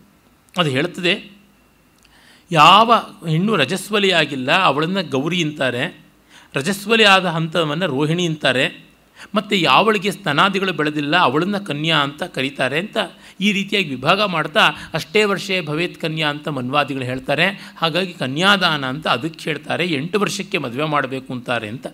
ವಸ್ತುತಃ ಮನುವಿನಲ್ಲಿ ಈ ಮಾತು ಇರೋದು ನಿಜವಾದರೂ ಕೂಡ ಮುಂದೆ ನಮಗೆ ಗೊತ್ತಾಗುತ್ತದೆ ಪ್ರೌಢಾವಿವಾಹವೇ ಮಾಡ್ತಾ ಇದ್ದದ್ದು ಅಂತ. ಯಾಕೆ ಅಂತಂದರೆ ಕನ್ಯೆಗೆ ಯೋಗ್ಯವಾದ ವಯಸ್ಸು ಬರುವವರೆಗೂ ಅಧ್ಯಾಪನ ಎಲ್ಲ ಮಾಡಿ ಕಡೆಗೆ ಅವಳಿಗೆ ತಂದೆ ಮದುವೆ ಮಾಡದಿದ್ದರೆ ಅವಳೇ ತನ್ನ ಗಂಡನನ್ನು ತಾನು ಬೇಕಾದರೆ ಇಷ್ಟಪಟ್ಟಂಥ ರೀತಿಯಲ್ಲಿ ಒರೆಸಿಕೊಂಡು ಹೋಗಬಹುದು ಅಂತಲೂ ಇರೋದರಿಂದ ಗೊತ್ತಾಗುತ್ತದೆ. ಮತ್ತು ವಿವಾಹದ ಬಳಿಕ ಈಗ ಯಾವುದು ನಿಷೇಕ ಅಂತ ಉಂಟಲ್ಲ, ಅದು ಚತುರ್ಥಿ ಕರ್ಮ ಅಂತ ವಿವಾಹದ ನಾಲ್ಕನೇ ದಿವಸವೇ ಮಾಡ್ತಾಯಿದ್ರು ಪ್ರೌಢೇ ಅಲ್ಲದೇ ಇದ್ದರೆ ಎಂಟೇ ವರ್ಷದ ಹುಡುಗಿ ಆಗಿದ್ದರೆ ಖಂಡಿತ ಆಗ್ತಾ ಇರಲಿಲ್ಲ. ಈ ಎಲ್ಲವೂ ಕೂಡ ನಮಗೆ ಆಪಸ್ತಂಭ ಮತ್ತು ಆಶ್ವಲಾಯನ, ಬೋಧಾಯನ ಮೊದಲಾದವರ ಗೃಹ್ಯಸೂತ್ರದಿಂದ ಧರ್ಮಸೂತ್ರಗಳಿಂದ ಗೋಚರವಾಗುತ್ತದೆ. ಅದನ್ನು ಹೇಳ್ತಾ ಇದ್ದಾನೆ.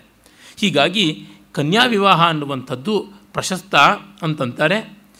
ಆದರೆ ಇವಳಿಗೆ ಹನ್ನೆರಡು ವರ್ಷ ಆಗಿದೆ, ಆದರೆ ತೊಂದರೆ ಇಲ್ಲ. ಶ್ರೇಷ್ಠೇಭ್ಯ ಸದೃಶೇಭ್ಯಶ್ಚ ಜಗನ್ಯೇಭ್ಯೋ ರಜಸ್ವಲ ಪಿತ್ರಾದೇಯ ವಿನಿಶ್ಚಿತ್ಯ ಯಥೋ ದೋಷೋ ನ ವಿದ್ಯತೆ. ಹಾಗಾಗಿ ರಜಸ್ವಲೆ ಆಗಿದ್ದರೂ ಕನ್ಯೆ ಅವಳನ್ನು ವಿವಾಹ ಮಾಡಿ ಕೊಡಬಹುದು. ಅದರಿಂದ ಮೇ ಶ್ರೇಷ್ಠರಿಗೆ, ಕನಿಷ್ಠರಿಗೆ ಎಲ್ಲರಿಗೂ ಕೂಡ ರಜಸ್ವಲೆಯನ್ನೇ ಕೊಟ್ಟು ಮದುವೆ ಮಾಡ್ಬೋದು ಅಂದರೆ ರಜಸ್ವಲಿ ಆದಂಥವಳು ಯಾವಳು ಪ್ರೌಢೆಯಾಗಿದ್ದಾಳೆ ಅವಳನ್ನು ಕೊಟ್ಟು ಮದುವೆ ಮಾಡ್ಬೋದು ಅದು ದೋಷವಲ್ಲ ಅಂತ. ಅದರಿಂದಾಗಿ ನೀನು ಚಿಂತೆ ಮಾಡಬೇಡ ಅಂತ ಹೇಳ್ತಾನೆ. ಅಂದರೆ ಪಂಚತಂತ್ರದ ಕಾಲಕ್ಕೆ ಪ್ರಾಯಶಃ ಈ ರೀತಿಯಾದ ಪ್ರಶ್ನೆಗಳು ಬಂದಿದ್ದಿರಬೇಕು. ಆ ಪ್ರಶ್ನೆಗಳನ್ನೆಲ್ಲ ಸಂಗ್ರಹಿಸಿ ಆ ಕಾಲದಲ್ಲಿ ಬೆಳೆದು ಬಂದಂಥ ಕೆಲವು ಕೆಲವು ಸೂತ್ರಗಳಲ್ಲಿ, ಸ್ಮೂತ್ರಗಳಲ್ಲೆಲ್ಲ, ಸ್ಮೃತಿಗಳಲ್ಲಿ, ಉಪಸ್ಮೃತಿಗಳಲ್ಲಿ ಇದ್ದದ್ದನ್ನು ಸೇರಿಸಿಕೊಂಡು ಮಾಡಿದ್ದಾನೆ. ಇಲ್ಲಿ ತಾತ್ಪರ್ಯ ನೋಡಿದಾಗ ನಮಗೆ ಗೊತ್ತಾಗುತ್ತದೆ. ನಮಗೆ ಮುಂಚೆಯೆಲ್ಲ ಎಷ್ಟು ಕಗ್ಗಾಡಿನ ಕೆಲಸ ಮಾಡ್ತಾಯಿದ್ರು ಅಂತಂದರೆ, ಸ್ತ್ರೀ ರಜಸ್ವಲೆ ಆಗಿಬಿಟ್ರೆ ಕಣ್ಣು ಕಟ್ಟು ಕಾಡಕ್ಕೆ ಬಿಟ್ಬಿಡಬೇಕು, ಮದುವೆ ಮಾಡದಿದ್ರೆ ಅಂತೆಲ್ಲ ಮಾಡಿಕೊಂಡು ಬೇಕಾದಷ್ಟು ಅನಾಚಾರಗಳು ನಡೆದಿವೆ ನಮ್ಮ ಈ ಅಜ್ಞಾನದ ಪರಂಪರೆಯಲ್ಲಿ. ಅದು ತಪ್ಪು ಅಂತನ್ನೋದು ಇಲ್ಲಿ ನಮಗೆ ಗೊತ್ತಾಗುತ್ತದೆ. ಹೀಗಾಗಿ ಕನ್ಯೆಗೆ ವಿವಾಹ ಯೋಗ್ಯ ಕಾಲದಲ್ಲಿ ವಿವಾಹ ಮಾಡಬೇಕು, ಮಾಡದೆ ಇಟ್ಕೊಳ್ಳಬಾರ್ದು ಇದು ಒಂದು ತೀರ್ಮಾನ. ಆದರೆ ವಿವಾಹ ಇಲ್ಲದೆಯೂ ಇರತಕ್ಕಂಥ ಕನ್ಯೆಯರಿದ್ದರು ಸದ್ಯೋವಧು ಮತ್ತು ಬ್ರಹ್ಮಚಾರಿಣಿ ಅಂತ ಎರಡು ಬಗೆಯಾಗಿ ಹೆಣ್ಣು ಮಕ್ಕಳು ಅಂತ ಮನುವೆ ಹೇಳ್ತಾನೆ. ಸದ್ಯೋವಧು ಅಂತಂದರೆ ವಿವಾಹಿತಳಾಗುವವಳು. ನಾನು ವಿವಾಹವೇ ಮಾಡಿಕೊಳ್ಳಲ್ಲ, ಜನ್ಮ ಇಡೀ ವ್ಯಾಸಂಗ ಮಾಡಿಕೊಂಡು, ತತ್ವಚಿಂತನೆ ಮಾಡಿಕೊಂಡು ಬ್ರಹ್ಮಚಾರಿಣಿಯಾಗಿ ಬದುಕ್ತೀನಿ ಎನ್ನುವಂಥವ್ರು ಇದ್ದರು, ಹೀಗೆ ಎರಡೂ ಬಗೆಯಲ್ಲಿ ಇದ್ದರು ಅಂತ ಅನ್ನೋದು ಗೊತ್ತಾಗುತ್ತದೆ. ಪಂಚತಂತ್ರ ಒಂದು ಮಕ್ಕಳ ಕಥೆಯಾಗಿ ಬಂದದ್ದು ಎಷ್ಟು ಸಾಮಾಜಿಕವಾದ, ಸಾಂಸ್ಕೃತಿಕವಾದ ಚರ್ಚೆಯನ್ನು ಮಾಡುತ್ತೆ ಅನ್ನೋದು ಕೂಡ ನಮಗೆ ಗೊತ್ತಾಗುತ್ತದೆ. ಅಥವಾ ಅಹಂ ಏನಂ ಸದೃಶಾಯ ಪ್ರಯಚ್ಛಾಮಿ, ನಾ ಅನ್ಯಸ್ಮೈ. ಹಾಗಾಗಿ ಇವಳಿಗೆ ಯುಕ್ತವಾದ ವಯಸ್ಸು ಬಂದರೆ ನಾನು ಯೋಗ್ಯರಿಗೆ ಕೊಟ್ಟು ಮದುವೆ ಮಾಡ್ತೀನಿ, ಯಾರ್ಯಾರಿಗೂ ಮದುವೆ ಮಾಡೋಲ್ಲ. ಯಯೋರೇವ ಸಮಂ ವಿತ್ತಂ, ಯಯೋರೇವ ಸಮಂ ಕುಲಂ, ತಯೋರ್ ವಿವಾಹ ಸಖ್ಯಂಚ, ನತು ಪುಷ್ಟ ವಿಪುಷ್ಟಯೋ ಯಾರ ಜಲ್ಲಿ ದುಡ್ಡು, ಕಾಸು, ಬುದ್ಧಿ, ಕುಲ ಇವೆಲ್ಲ ಸಮಾನವಾಗಿರುತ್ತೋ ಅವ್ರ ಜೊತೆಗೇ ಮದುವೆ ಮಾಡಬೇಕು. ಹೆಚ್ಚು ಕಡಿಮೆ ಇರುವಂಥದ್ದು ಅಲ್ಲ ಅಂತ. ಎಲ್ಲ ಕಾಲದ ತಂದೆ ತಾಯಂದರ ಚಿಂತನ ಕ್ರಮವನ್ನು ಪಂಚತಂತ್ರ ಹೇಳಿದೆ. ಯಾಜ್ಞವಲ್ಕ ಋಷಿ ಇರ್ಬೋದು, ತಪಸ್ವಿ ಇರ್ಬೋದು, ಏನೇ ಇರ್ಬೋದು, ಅವನ ಬಾಯಲ್ಲಿ ಬರ್ತಕ್ಕಂಥದ್ದಿದೆ ನಮ್ಮ ಮನೆಗೆ, ನಮ್ಮ ಹಿನ್ನೆಲೆಗೆ, ನಮ್ಮ ದುಡ್ಡು ಕಾಸು, ನಮ್ಮ ಜಾತಿ ಗೋತ್ರಕ್ಕೆ ಅನುಕೂಲವಾದಂಥವ್ರನ್ನೇ ನಾವು ಕೊಡೋದು ಅಂತ. ಸಾಮಾನ್ಯವಾಗಿ ಲೋಕದಲ್ಲಿ ಅದೇ ಥರ ಮಾಡ್ಕೊಳ್ಳೋದು. ಎಷ್ಟು ಜಾತಿ ಗೀತಿಗಳನ್ನು, ಕಟ್ಟುಗಳನ್ನು ಮೀರ್ತೀವಿ ಅಂತಂದರೂ ಯಾವಾಗ ಮೀರ್ತಾರೆ ಅಂದರೆ ಅದು ವಿಶೇಷವಾಗಿ ವ್ಯತ್ಯಾಸವನ್ನು ಉಂಟು ಮಾಡ್ತಾ ಇಲ್ಲ ಅಂದಾಗಲೇ. ಉಂಟು ಮಾಡ್ತಾ ಇದ್ದ ಕಾಲದಲ್ಲಿ ಯಾರೂ ಮೀರೋಲ್ಲ. ಈಗೆಲ್ಲ ಅಂತರ್ಜಾತಿ ವಿವಾಹಗಳು ಯಾಕೆ ಹೆಚ್ಚಾಗ್ತಾ ಇವೆ ಅಂದರೆ ಯಾರೂ ಅವರವರ ಜಾತಿ ಕುಲ ಕ್ರಮಾಗತವಾದಂಥ ವೃತ್ತಿಗಳನ್ನು, ವರ್ತನೆಗಳನ್ನು ಇಟ್ಕೊಳ್ತಿಲ್ಲ ಅಂತಲೇ ಅಷ್ಟೇ, ಇನ್ನೇನೂ ಅಲ್ಲ. ಹಾಗೆ ಇಟ್ಕೊಂಡವರಿಗೆ ಭಿನ್ನತೆ ಇದೆ ಅದಕ್ಕಾಗೋಲ್ಲ ಕಂಪ್ಯಾಟಬಿಲಿಟಿ ಇಲ್ಲ ಅಂತಂತಾರೆ. You are not of my type ಅಂತಾರೆ. ಹೀಗೆ ಅಂದ್ಕೊಂಡು ಹೋಗ್ತಾರೆ. ಹಾಗಾಗಿ ಯಾವಾಗ ವ್ಯತ್ಯಾಸಗಳು ಕಡಿಮೆ ಆಗುತ್ತವೋ ಆಗ ಸಾಮಾನ್ಯವಾಗಿ ಇವೆಲ್ಲ ಆಗುತ್ತದೆ. ಹಾಗೆ ಇವು ಆಗ್ತಾ ಇದ್ದಂತೆ ವ್ಯತ್ಯಾಸಗಳು ಕಡಿಮೆ ಆಗುತ್ತವೆ. ಅದು ಉಂಟು. ಉಭಯತ ಇರುತ್ತದೆ. ಆದರೆ ನಾವು ನೋಡಬೇಕಾದದ್ದಿಷ್ಟೇ ಯಾರು ಆಚರಣೆಯಲ್ಲಿ ಇಟ್ಕೊಂಡಿಲ್ವೋ ಅವರಿಗೆ ವ್ಯತ್ಯಾಸಗಳು ಕಾಣೋಲ್ಲ ಆಚರಣೆಯಲ್ಲಿ ಇಟ್ಕೊಂಡವರಿಗೆ ಕಾಣಿಸುತ್ತದೆ. ಕರ್ನಾಟಕ ಸಂಗೀತವನ್ನು ದಿನವೂ ಕೇಳ್ತಾ ಕಿವಿಗೆ ಆ ಸಂಸ್ಕಾರ ಆದವರಿಗೆ ರಾಗಗಳು ಏನು ಅಂತ ಗೊತ್ತಾಗುತ್ತವೆ. ಹಾಗಿಲ್ಲದೆ ಇದ್ದವರಿಗೆಲ್ಲ ಒಂದೇ ರಾಗ ಅಂತ ಅನಿಸುತ್ತದೆ. ಒಂದು ಕ್ಷೇತ್ರದಲ್ಲಿ ತುಂಬ ದೊಡ್ಡ ವಿದ್ವಾಂಸರಾಗಿದ್ದು, ದೊಡ್ಡ ಸಾಧನೆ ಮಾಡಿದವ್ರಿಗೂ ಇನ್ನೊಂದು ಕ್ಷೇತ್ರದಲ್ಲಿ ಜ್ಞಾನ ಇಲ್ಲದೆ ಇರಬಹುದು.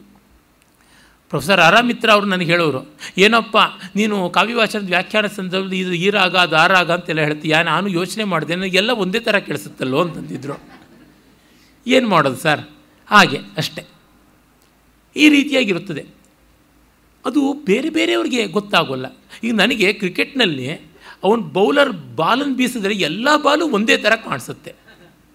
ಅದು ಗೂಗ್ಲಿನ ಅಥವಾ ಅದು ಸ್ಪಿನ್ನ ಅಥವಾ ಅದು ಬೌನ್ಸರ ಏನೂ ನಂಗೆ ಗೊತ್ತಾಗೋಲ್ಲ. ಯಾರು ಹೇಳಿದ ಮೇಲೆ ಹೌದಾ ಅಂತಂತೇನೆ ಅದು ಶಬ್ದ ಮಾತ್ರ ಗಮ್ಯ. ಇನ್ನೇನು ಸ್ಪಷ್ಟವಾಗಿ ಗೊತ್ತಾಗೋಲ್ಲ. ಅದು ತಿಳಿದವ್ರಿಗೆ ಗೊತ್ತಾಗುತ್ತೆ. ನನ್ನ ಸ್ನೇಹಿತರು ಸಿ ಆರ್ ಆನಂದ್ ಅಂತ, ಅವರು ದೊಡ್ಡ ಟೆನಿಸ್, ಟೇಬಲ್ ಟೆನಿಸ್ ಚಾಂಪಿಯನ್ನು. ಅವರು ಹೇಳ್ತಾ ಇರ್ತಾರೆ, ಆ ಬಾಲ್ ಹೇಗೆ ಡಿಫ್ಲೆಕ್ಟ್ ಆಗುತ್ತೆ, ಹಾಗಾಗುತ್ತೆ, ಹೀಗಾಗುತ್ತೆ ಅಂತ. ಒಂದಷ್ಟು ಕಾಲ ಕುತೂಹಲದಿಂದ ಕೇಳ್ತೀನಿ. ಅವ್ರ ಪಾಪ ಬೋರ್ ಹೊಡೆಸೋಲ್ಲ ನನಗೆ. ಆದರೆ ಅವರು ಕುತೂಹಲದಿಂದ ನನ್ನ ಕುತೂಹಲ ತಣಿಸೋಕ್ಕೆ ಹೇಳ್ತಾರೆ, ನನ್ನ ಬುದ್ಧಿಗ್ರಾಹ್ಯವಾಗಿ ಒಂದು ಮಟ್ಟಕ್ಕೆ ಆಮೇಲೆ ಗೊತ್ತಾಗೋಲ್ಲ. ಈಗ ನಾನು ಹರಣಿ ಛಂದಸ್ಸು ಮತ್ತು ಮಂದಾಕ್ರಾಂತ ಛಂದಸ್ಸು, ಶಿಖರಣಿ ಛಂದಸ್ಸು ಪೃಥ್ವಿ ಛಂದಸ್ಸು, ಈ ನಾಲ್ಕು ಹದಿನೇಳು ಅಕ್ಷರದ್ದು ಅತ್ಯಷ್ಟಿ ಛಂದಸ್ಸಿನಲ್ಲಿ ಬರುತ್ತವೆ. ಆದರೆ ನಾಲ್ಕಕ್ಕೂ ಯತಿಸ್ಥಾನ ಹೇಗೆ ಭಿನ್ನವಾಗಿದೆ, ಇದು ದಧಿಮ್ ಅಂತ ಕಾಣಿಸುತ್ತೆ, ಅದು ತಕಿಟ ಅಂತ ಕಾಣಿಸುತ್ತೆ ಅಂತ ಹೇಳಿದ್ರೆ ಅವ್ರಿಗೆಷ್ಟು ಗೊತ್ತಾಗುತ್ತೋ ನನಗಿಷ್ಟೇ ಗೊತ್ತಾಗೋದು. ಅಭ್ಯಾಸಗಳು, ಪರಿಚಯಗಳು ಈ ರೀತಿಯಾಗಿದ್ದಾಗ ವ್ಯತ್ಯಾಸಗಳು ಗೊತ್ತಾಗುವುದು ಅರಿವಿಗೆ ಬಂದಾಗ, ಅಧ್ಯಯನ ಬಂದಾಗ. ಆದರೆ ಯಾರ್ಯಾರಿಗೆ ಅಲ್ಲಲ್ಲಿ ಪಾಕೆಟ್ಸಲ್ಲಿರೋರಿಗೆ ಅದದೇ ದೊಡ್ಡದಾಗಿ ಇರುತ್ತದೆ. ಇವನ್ನೆಲ್ಲ ನಾವು ತುಂಬ ಕಠೋರವಲ್ಲದ ರೀತಿಯಲ್ಲಿ ನೋಡಬೇಕು. ಸಮಾಜ ಸುಧಾರಣೆ ಮಾಡುವ ಓಘ ಹೆಚ್ಚಾದಾಗ ಇದ್ದವ್ರ ನೆಮ್ಮದಿಗೆ ನಾವು ಹಾನಿ ಮಾಡಿದ್ರೂ ಕಷ್ಟವಾಗುತ್ತದೆ. ಡಿ ವಿ ಜಿಯವರು ಹೇಳ್ತಾರೆ, ಈ ಕಾರಣದಿಂದಲೇ ಮಿತಿ ಸುಧಾರಣೆಗಿರಲಿ ಅಂತಾರೆ. ಸುಧಾರಣೆಗೆ ಒಂದು ಮಿತಿ ಇರಲಿ ಅಂತ. ಏಕೆಂದರೆ ಇದು ಭಾವನೆಯಿಂದ ಆಗಬೇಕಾದದ್ದು. ಸುಮ್ಮನೆ ಕೋಲಾಹಲದಿಂದ ಅಲ್ಲ ಅಂತ. ಆಮೇಲೆ ಹೇಳ್ತಾನೆ, ಕುಲಂಚ ಶೀಲಂಚ ಸನಾಥತಾಚ ವಿದ್ಯಾಚ ವಿತ್ತಂಚ ವಪುರ್ವಯಶ್ಚ, ಏತಾನ್ ಗುಣಾನ್ ಸಪ್ತ ವಿಚಿಂತ್ಯ ದೇಯ ಕನ್ಯಾ ಬುಧೈ ಶೇಷಂ ಅಚಿಂತನೀಯಂ. ಕುಲ, ಶೀಲ ಸನಾಥತ್ವ ವಿದ್ಯಾ, ವಿತ್ತ, ವಪುಸ್ಸು, ವಯಸ್ಸು ಈ ಏಳನ್ನು ನೋಡಬೇಕು ಅಂತ. ಕುಲ ಅಂತಂದರೆ ಅವನ ಫ್ಯಾಮಿಲಿ ಅಂತ. ಜಾತಿ ಅಂತಲ್ಲ. ಮನೆ. ಚೆನ್ನಾಗಿರೋ ಮನೆನ ಅತ್ತೆ ಮಾವಂದ್ರೆ ಹೇಗೆ, ಓರ್ಗಿತ್ತಿ ಮೈದುಳಂದ್ರು ಹೇಗೆ, ನಾದಿನಿ ಇದ್ದಾಳ ಇತ್ಯಾದಿಗಳೆಲ್ಲ. ಶೀಲ, ಆ ವ್ಯಕ್ತಿಯ ನಡವಳಿಕೆ. ಮತ್ತು ಸನಾತತ ಅಂತಂದರೆ ಅವನ ಮನೋಧರ್ಮ. ನಡವಳಿಕೆ ಒಟ್ಟಂದದ್ದು, ಮನೋಧರ್ಮ ಒಂದು. ಅದು ಹೇಗಿದೆ, ಎಷ್ಟು ದೃಢವಾಗಿದೆ, ಅವನ ಸ್ವಾಮಿತ್ವ ಅವನು ಒಳ್ಳೆ ಗಂಡನಾಗಬಲ್ಲ ಅಂತ. ಒಳ್ಳೆ ವ್ಯಕ್ತಿ ಒಳ್ಳೆ ಗಂಡನಾಗ್ತಾನೆ ಅಂತ ಏನೂ ಇಲ್ಲ. ಒಳ್ಳೆ ಗಂಡ ಒಳ್ಳೆಯ ವ್ಯಕ್ತಿ ಆಗಿರ್ತಾನೆ ಅಂತಲೂ ಹೇಳೋಕ್ಕಾಗೋಲ್ಲ. They are two different things ಶೀಲದಲ್ಲಿ ಒಳ್ಳೆಯ ವ್ಯಕ್ತಿತ್ವ, ಸನಾತತ್ವದಲ್ಲಿ ಒಳ್ಳೆಯ ಗಂಡತನ ಗುಜ್ ಗುಡ್ ಹಸ್ಬೆಂಡ್ಹುಡ್ ವಿದ್ಯೆ, ವಿತ್ತ, ದುಡ್ಡು, ಮತ್ತು ವಪಸ್ಸು, ಆಕಾರ ಚೆನ್ನಾಗಿದೆಯಾ ಅಂತ, ಮತ್ತು ವಯಸ್ಸು, ಯೌವನದಲ್ಲಿದ್ದಾನ, ಆ ರೀತಿಯಾದದ್ದು. ಇಷ್ಟು ನೋಡಬೇಕು, ಇದನ್ನು ನೋಡಿ ಕನ್ಯೆಯನ್ನು ಕೊಡಬೇಕು. ಇನ್ನು ಮಿಕ್ಕಿದ್ದು ಶೇಷಂ ಅತಿಂಚ, ಅಚಿಂತನೀಯಂ, ಇನ್ನು ಮಿಕ್ಕಿದ್ದನ್ನೆಲ್ಲ ನಾವು ನೋಡಬೇಕಾಗಿಲ್ಲ ಕಣ್ರೆ. ಅವನ ಜಾತಿಯೋ ಮತವೋ ಮತ್ತೊಂದೋ ಅವೆಲ್ಲ ಅಲ್ಲ ಅಂತ ಹೇಳಿಬಿಟ್ಟು ಈ ರೀತಿ ಕಾಣಬೇಕಾದದ್ದು ಏನು, ಯಾವ ಚೌಕಟ್ಟಿನಲ್ಲಿ ನೋಡಬೇಕು ಅನ್ನುವಂಥದ್ದನ್ನು ಹೇಳಿ ಇದು ಮಾಡಬೇಕು. ತದ್ಯಥಾ ಅಸ್ಯ ರೋಚತೆ ತದಾ ಭಗವಂತಂ ಆದಿತ್ಯಂ ಆಹೂಯ ತಸ್ಮೈ ಪ್ರಯಚ್ಛಾಮಿ. ಹಾಗಾಗಿ ಇವಳು ಇಷ್ಟಪಟ್ಟಲ್ಲಿ ನಾನು ಸೂರ್ಯನನ್ನು ಕರೆಸಿ ಸೂರ್ಯನಿಗೆ ಮದುವೆ ಮಾಡಿಕೊಡ್ತೀನಿ ಅಂತಾಳೆ. ಹೆಂಡತಿ ಹೇಳ್ತಾಳೆ, ಯಾಕೋ ದೋಷ? ಕರಿತಾಮೇತತ್ ಇದರೊಳಗೆ ಏನು ತಪ್ಪಿದೆ? ಸಾಕ್ಷಾತ್ ಸೂರ್ಯನೇ ಆದರೆ ಆಯಿತು ಅಂತ. ಮುನಿ ರವಿ, ರವಿರಾಹೂತ ವೇದಮಂತ್ರಾಣ, ವೇದಮಂತ್ರ ಆಮಂತ್ರಣ ಪ್ರಭಾವ ತತ್ಕ್ಷಣಾದೇವ ಅಭ್ಯುಪಗತ, ಅಭ್ಯುಪಗಮ್ಯ ಆದಿತ್ಯ ಪ್ರೋವಾಚ. ವೇದಮಂತ್ರ ಪ್ರಭಾವ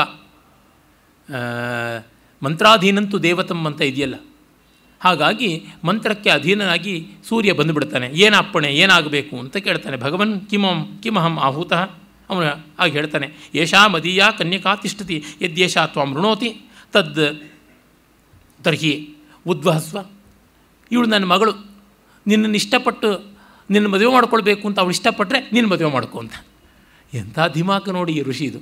ನನ್ನ ಮಗಳು ಇಷ್ಟಪಟ್ಟರೆ ನೀನು ಅವಳನ್ನು ಇಷ್ಟಪಟ್ಟು ಮದುವೆ ಮಾಡ್ಕೊ. ನಿನಗೂ ಇವಳು ಇಷ್ಟಾನ ಅಂತ ಕೇಳೋಲ್ಲ. ಆ ಮಟ್ಟಕ್ಕೆ ಇವನ ಮಂತ್ರ ಪ್ರಭಾವ ಮತ್ತು ಋಷಿ ಮಗಳಿಗೆ ಹೇಳ್ತಾನೆ, ಪುತ್ರಿ, ಕಿಂತವ ರೋಚತೆ ಏಷ ಭಗವಾನ್ ತ್ರೈಲೋಕ್ಯ ದೀಪಕೋ ಭಾನು. ಏನಮ್ಮ ಮೂರು ಲೋಕ ಬೆಳಗತಕ್ಕಂಥ ಜಗತ್ ಕಾಂತಿ ಪ್ರಧಾನಾದಂಥವನು ಜಗತ್ತಿನ ಕಣ್ಣು, ಜಗಜ್ಯೋತಿ ಭಾನು ಅಂತಂದರೆ ಅವಳು ಹೇಳ್ತಾಳೆ, ತಾತ, ಅತಿದಹನಾತ್, ಅತಿದಹನಾತ್ಮಕೋಯಂ ನಾಹಂ ಏನಂ ಅಭಿಲಷಾಮಿ. ತಸ್ಮಾದ ಅನ್ಯ ಪ್ರಕೃಷ್ಟತರಹ ಕಶ್ಚಿತ್ ಆಹೂಯತಾಂ. ಅಪ್ಪ, ಇವನು ತುಂಬ ದಗದಗಿಸ್ತಾನೆ, ಉರಿಸ್ತಾನೆ, ಇವನ ಜೊತೆ ನಾನು ಸಂಸಾರ ಮಾಡಲಾರೆ ಇನ್ನು ಯಾವನಾದ್ರು ಒಳ್ಳೆಯವನಿದ್ರೆ ಆಗಲಿ ಅಂತ. ಸೂರ್ಯನಿಗೂ ಸದ್ಯ ರೋಗಿ ಬಯಸಿದ್ದು ಹಾಲುವನ್ನು, ವೈದ್ಯ ಹೇಳಿದ್ದು ಹಾಲುವನ್ನು ಅಂತ ಇತ್ತು. ಸೂರ್ಯನೇ ಕೇಳ್ತಾನೆ, ಭಗವನ್ ತತ್ತಃ ಅಪಿ ಅಧಿಕೋಸ್ತಿ ಕಶ್ಚಿತ್. ನಿನಗಿಂತ ದೊಡ್ಡವನು ಯಾರಾದರೂ ಇದ್ದಾರಾ? ಯೊಡಾಸಿಟಿ ನೋಡಿ ಪೆದ್ದು ಈ ಋಷಿ, ಕಾರುಣ್ಯ ಎಲ್ಲ ಇರ್ಬೋದು, ಮಂತ್ರಶಕ್ತಿ ಇರ್ಬೋದು. ಯಾರನ್ನ ಹೇಗೆ? ನಿಮಗಿಂತ ಬುದ್ಧಿವಂತರು ಯಾರಾದರೂ ಇದ್ರೆ ಹೇಳ್ರಿ, ಅವ್ರ ಹತ್ರಕ್ಕೆ ಹೋಗ್ತೀವಿ ಅಂತಂದರೆ. ಅಂದರೆ ಒಂದು ವಿಷಯದಲ್ಲಿ ತುಂಬ ತಿಳುವಳಿಕೆ ಇದ್ದವರು ಎಷ್ಟು ಗಮಾರರಾಗಿರ್ತಾರೆ ಅನ್ನೋದಕ್ಕೆ ಇದು ದೊಡ್ಡ ನಿದರ್ಶನ. ನನ್ನ ಸ್ನೇಹಿತ ವಾಸು ಸದಾ ಹೇಳ್ತಿರ್ತಾನೆ ಯೂನಿವರ್ಸಲ್ ಎನರ್ಜಿ ಈ ಕಾನ್ಸ್ಟೆಂಟ್ ಥರ ಯೂನಿವರ್ಸಲ್ ವಿವೇಕ ವಿ ಕಾನ್ಸ್ಟೆಂಟ್ ಅಂತಿರುತ್ತೆ. ಕೆಲವರಿಗೆ ಕೆಲವು ಸಬ್ಜೆಕ್ಟಲ್ಲಿ ಮುಗಿದೋಗಿರುತ್ತೆ. ಆಮೇಲೆ ಮಿಕ್ಕಿದ್ದೆಲ್ಲ ವಿವೇಕವೇ ಅಂತ. ಇವನಿಗೆ ತಪಸ್ಸು, ಮಂತ್ರ, ಕಾರುಣ್ಯಕ್ಕೆ ಎಲ್ಲ ವಿವೇಕ ಮುಗಿದೋಗಿತ್ತು ಅಂತ ಅನಿಸುತ್ತದೆ ಆಮೇಲೆ ಸೂರ್ಯ ಹೇಳ್ತಾನೆ ಮತ್ತೋಪಿ ಅಧಿಕ ಮೇಘ, ಏನು ಆಚ್ಛಾದಿತ ಅಹಂ ಅದೃಶ್ಯೋ ಭವಾಮಿ, ನನಗಿಂತ ಮೇಘ ದೊಡ್ಡವನು ಮುಚ್ಚಾಕ್ಬಿಡ್ತಾನೆ ಅಂತ. ಸರಿ ಮೇಘನ ಕೇಳೋಣ ಅಂತ. ಮೇಘ ಬರ್ತಾನೆ ಬಂದಾಗ ಅಯ್ಯೋ, ಇವನು ತುಂಬ ತಣ್ಣಗಿದ್ದಾನಪ್ಪ ಮೆತ್ತ ಮೆತ್ತಗಿದ್ದಾನೆ ಇವನು ಬೇಡ, ಕಪ್ಪಗಿದ್ದಾನೆ ಬೇರೆ ಅಂತ ಅವಳಂತಾಳೆ. ನಿನಗಿಂತ ದೊಡ್ಡವರು ಯಾರು ಅಂದರೆ ನನ್ನ ಗಾಳಿ ಎಲ್ಲಂದರೆ ಅಲ್ಲಿ ಬಿಸಾಡುತ್ತೆ ಅಂತ. ಗಾಳಿ ಬಂದರೆ ವಾಯುದೇವ, ಇವನಿಗೆ ಆಕಾರವೇ ಇಲ್ಲಪ್ಪ, ಅಪ್ಪಿಕೊಳ್ಳೋದೇನು, ಮಾತಾಡೋದೇನು, ಏನು ಸಂಸಾರ, ಬೇಡ ಅಂತ. ನಿನಗಿಂತ ದೊಡ್ಡವರು ಯಾರು ಅಂದರೆ, ಬೆಟ್ಟ. ಎಂಥ ಬೆಟ್ಟ ಎಷ್ಟು ದೊಡ್ಡದು ಅಂದರೆ, ನಾನು ಎಷ್ಟು ಬೀಸ್ಕೊಂಡು ಬಂದರೂ, ಅಪ್ಪಳಿಸಿದ್ರೆ ನಾನೇ ಮೂರ್ಛೆ ಹೋಗ್ತೀನಿ ಶಿಲೋಚ್ಚಯೇ ಮೂರ್ಛತಿ ಮಾರುತಸ್ಯ. ಶಿಲೋಚ್ಚಯೇ ಮೂರ್ಛತಿ ಮಾರುತಸ್ಯ ಅಂತ ಕಾಳಿದಾಸನ ಮಾತು ಉಂಟಲ್ಲ ಹಾಗೆ. ಆಯಿತು, ಬೆ, ಬೆಟ್ಟವನ್ನೇ ಕೇಳೋಣ ಅಂತ. ಪರ್ವತೇಶ್ವರನ ಕೇಳಿದ್ರೆ ಪರ್ವತ, ಅಯ್ಯೋ, ನನ್ನನ್ನು ಕೂಡ ರಂಧ್ರ ಮಾಡಿ ಕೆಳಗಡೆ ಮಣ್ಣನ್ನು ಅಗದು ಬಗದು ಬಂಡೆಗಲ್ಲುಗಳು ಉರುಳುವಂತೆ ಮಾಡಿ ಮಟ್ಟಸ ಮಾಡಿಬಿಡುತ್ತೆ, ಇಲಿ ಅಂತ. ಇಲಿ ಬರುತ್ತದೆ. ಇಲಿ ಬಂದಾಗ ತಥೋ ಮುನಿ ಮೂಷಕಂ ಆಹೂಯ ತಸ್ಯ ಆದರ್ಶಯಿತ ಆಹ ಪುತ್ರಿಕೆ, ತ್ವಾಮಸ್ಮೈ ಪ್ರಯಚ್ಛಾಮಿ ಮಗಳೇ, ಇವಳನ್ನು ಇವನನ್ನು ಮದುವೆ ಆಗ್ತೀಯಾ? ಕಿವೇಶ ಪ್ರತಿಭಾತಿತೆ ಮೂಷಕರಾಜ ಸ್ವಜಾತಿ ಏಷ ಇತಿ ಮನ್ಯಮಾನ ಪುಲಕೋದ್ಘುಷಿತ ಶರೀರ ಪುಲಕೋತ್ ಪುಷ್ಪಿತ ಶರೀರ ಉವಾಚ. ಅವಳಿಗೆ ರೋಮಾಂಚನ ಆಗ್ಬಿಡ್ತಂತೆ ನಂಜಾತಿ ಅಂತ. ಆಹಾ, ಎಷ್ಟು ಚೆನ್ನಾಗಿದ್ದಾನೆ. ತಾತ, ಮಾ ಮೂಷಿಕಾಂ ಕೃತ್ವ, ಅಸ್ಮೈ ಪ್ರಯಚ್ಛ. ನನ್ನನ್ನು ಹೆಣ್ಣಿಲಿ ಮಾಡಿ ಇವನಿಗೆ ಕೊಟ್ಟು ಮದುವೆ ಮಾಡಿಬಿಡು. ಏನ ಸ್ವಂ ಜೀವಿತ ಸ್ವಜಾತಿ ವಿಹಿತಂ ಗೃಹಧರ್ಮಂ ಅನುತಿಷ್ಠಾಮಿ. ನಮ್ಮ ಸ್ವಜಾತಿಗೆ ತಕ್ಕಂತೆ ಒಳ್ಳೆ ಗೃಹಧರ್ಮ, ಬಿಲಧರ್ಮ ಇಟ್ಟುಕೊಂಡು ಬದುಕ್ತೀನಿ ಅಂತ. ಗೃಹಿಣೀನ್ ಬೇಕೋ, ಬಿಲಿನೀನ್ ಬೇಕೋ ಗೊತ್ತಿಲ್ಲ. ಹಾಗೆ ಅಂತ ಸ್ವತಪೋಬಲೇನ ತಾ ಮೂಷಿಕಾಂ ಕೃತ್ವ ತಸ್ಮೈ ಪ್ರಾದಾತ್. ಕೊಟ್ಬಿಡ್ತಾನೆ ಅವಳಿಗೆ. ಮದುವೆ ಮಾಡಿ ಕೊಟ್ಬಿಡ್ತಾನೆ ಅವಳನ್ನು. ಅಥವಾ ಅಹಂ ಬ್ರವೀಮಿ. ಹಾಗಾಗಿ ಹೇಳ್ತೀನಪ್ಪ, ಎಲ್ಲೆಲ್ಲಿ ಹೋದರೂ ಕೈ ಎಲ್ಲ ಕಡೆ ಸುತ್ತಿದ್ರೂ ಕಡೆಗೆ ಬಾಯಿಗೆ ಬರಬೇಕು, ಬೇರೆ ದಾರಿ ಇಲ್ಲ ಅಂತ. ಹಾಗೆ ಅಂತ ನೀನು ಎಷ್ಟೆಷ್ಟು ಪುನರ್ಜನ್ಮ ಅಂತಂದರೂ ಕಡೆಗೆ ನೀನು ಕಾಗೆ ತನವೇ ಇಟ್ಕೋತೀಯ ಹೊರತು ನೀನು ಗೂಬೆತನ ಇಟ್ಕೊಳ್ಳೋದಿಲ್ಲ ಅಂತ ರಕ್ತಾಕ್ಷ ಹೇಳುತ್ತದೆ. ಮುಂದಿನ ಕಥಾಭಾಗವನ್ನು ಮುಂದಿನ ಸರಣಿಯಲ್ಲಿ ನೋಡೋಣ. ನಮಸ್ಕಾರ.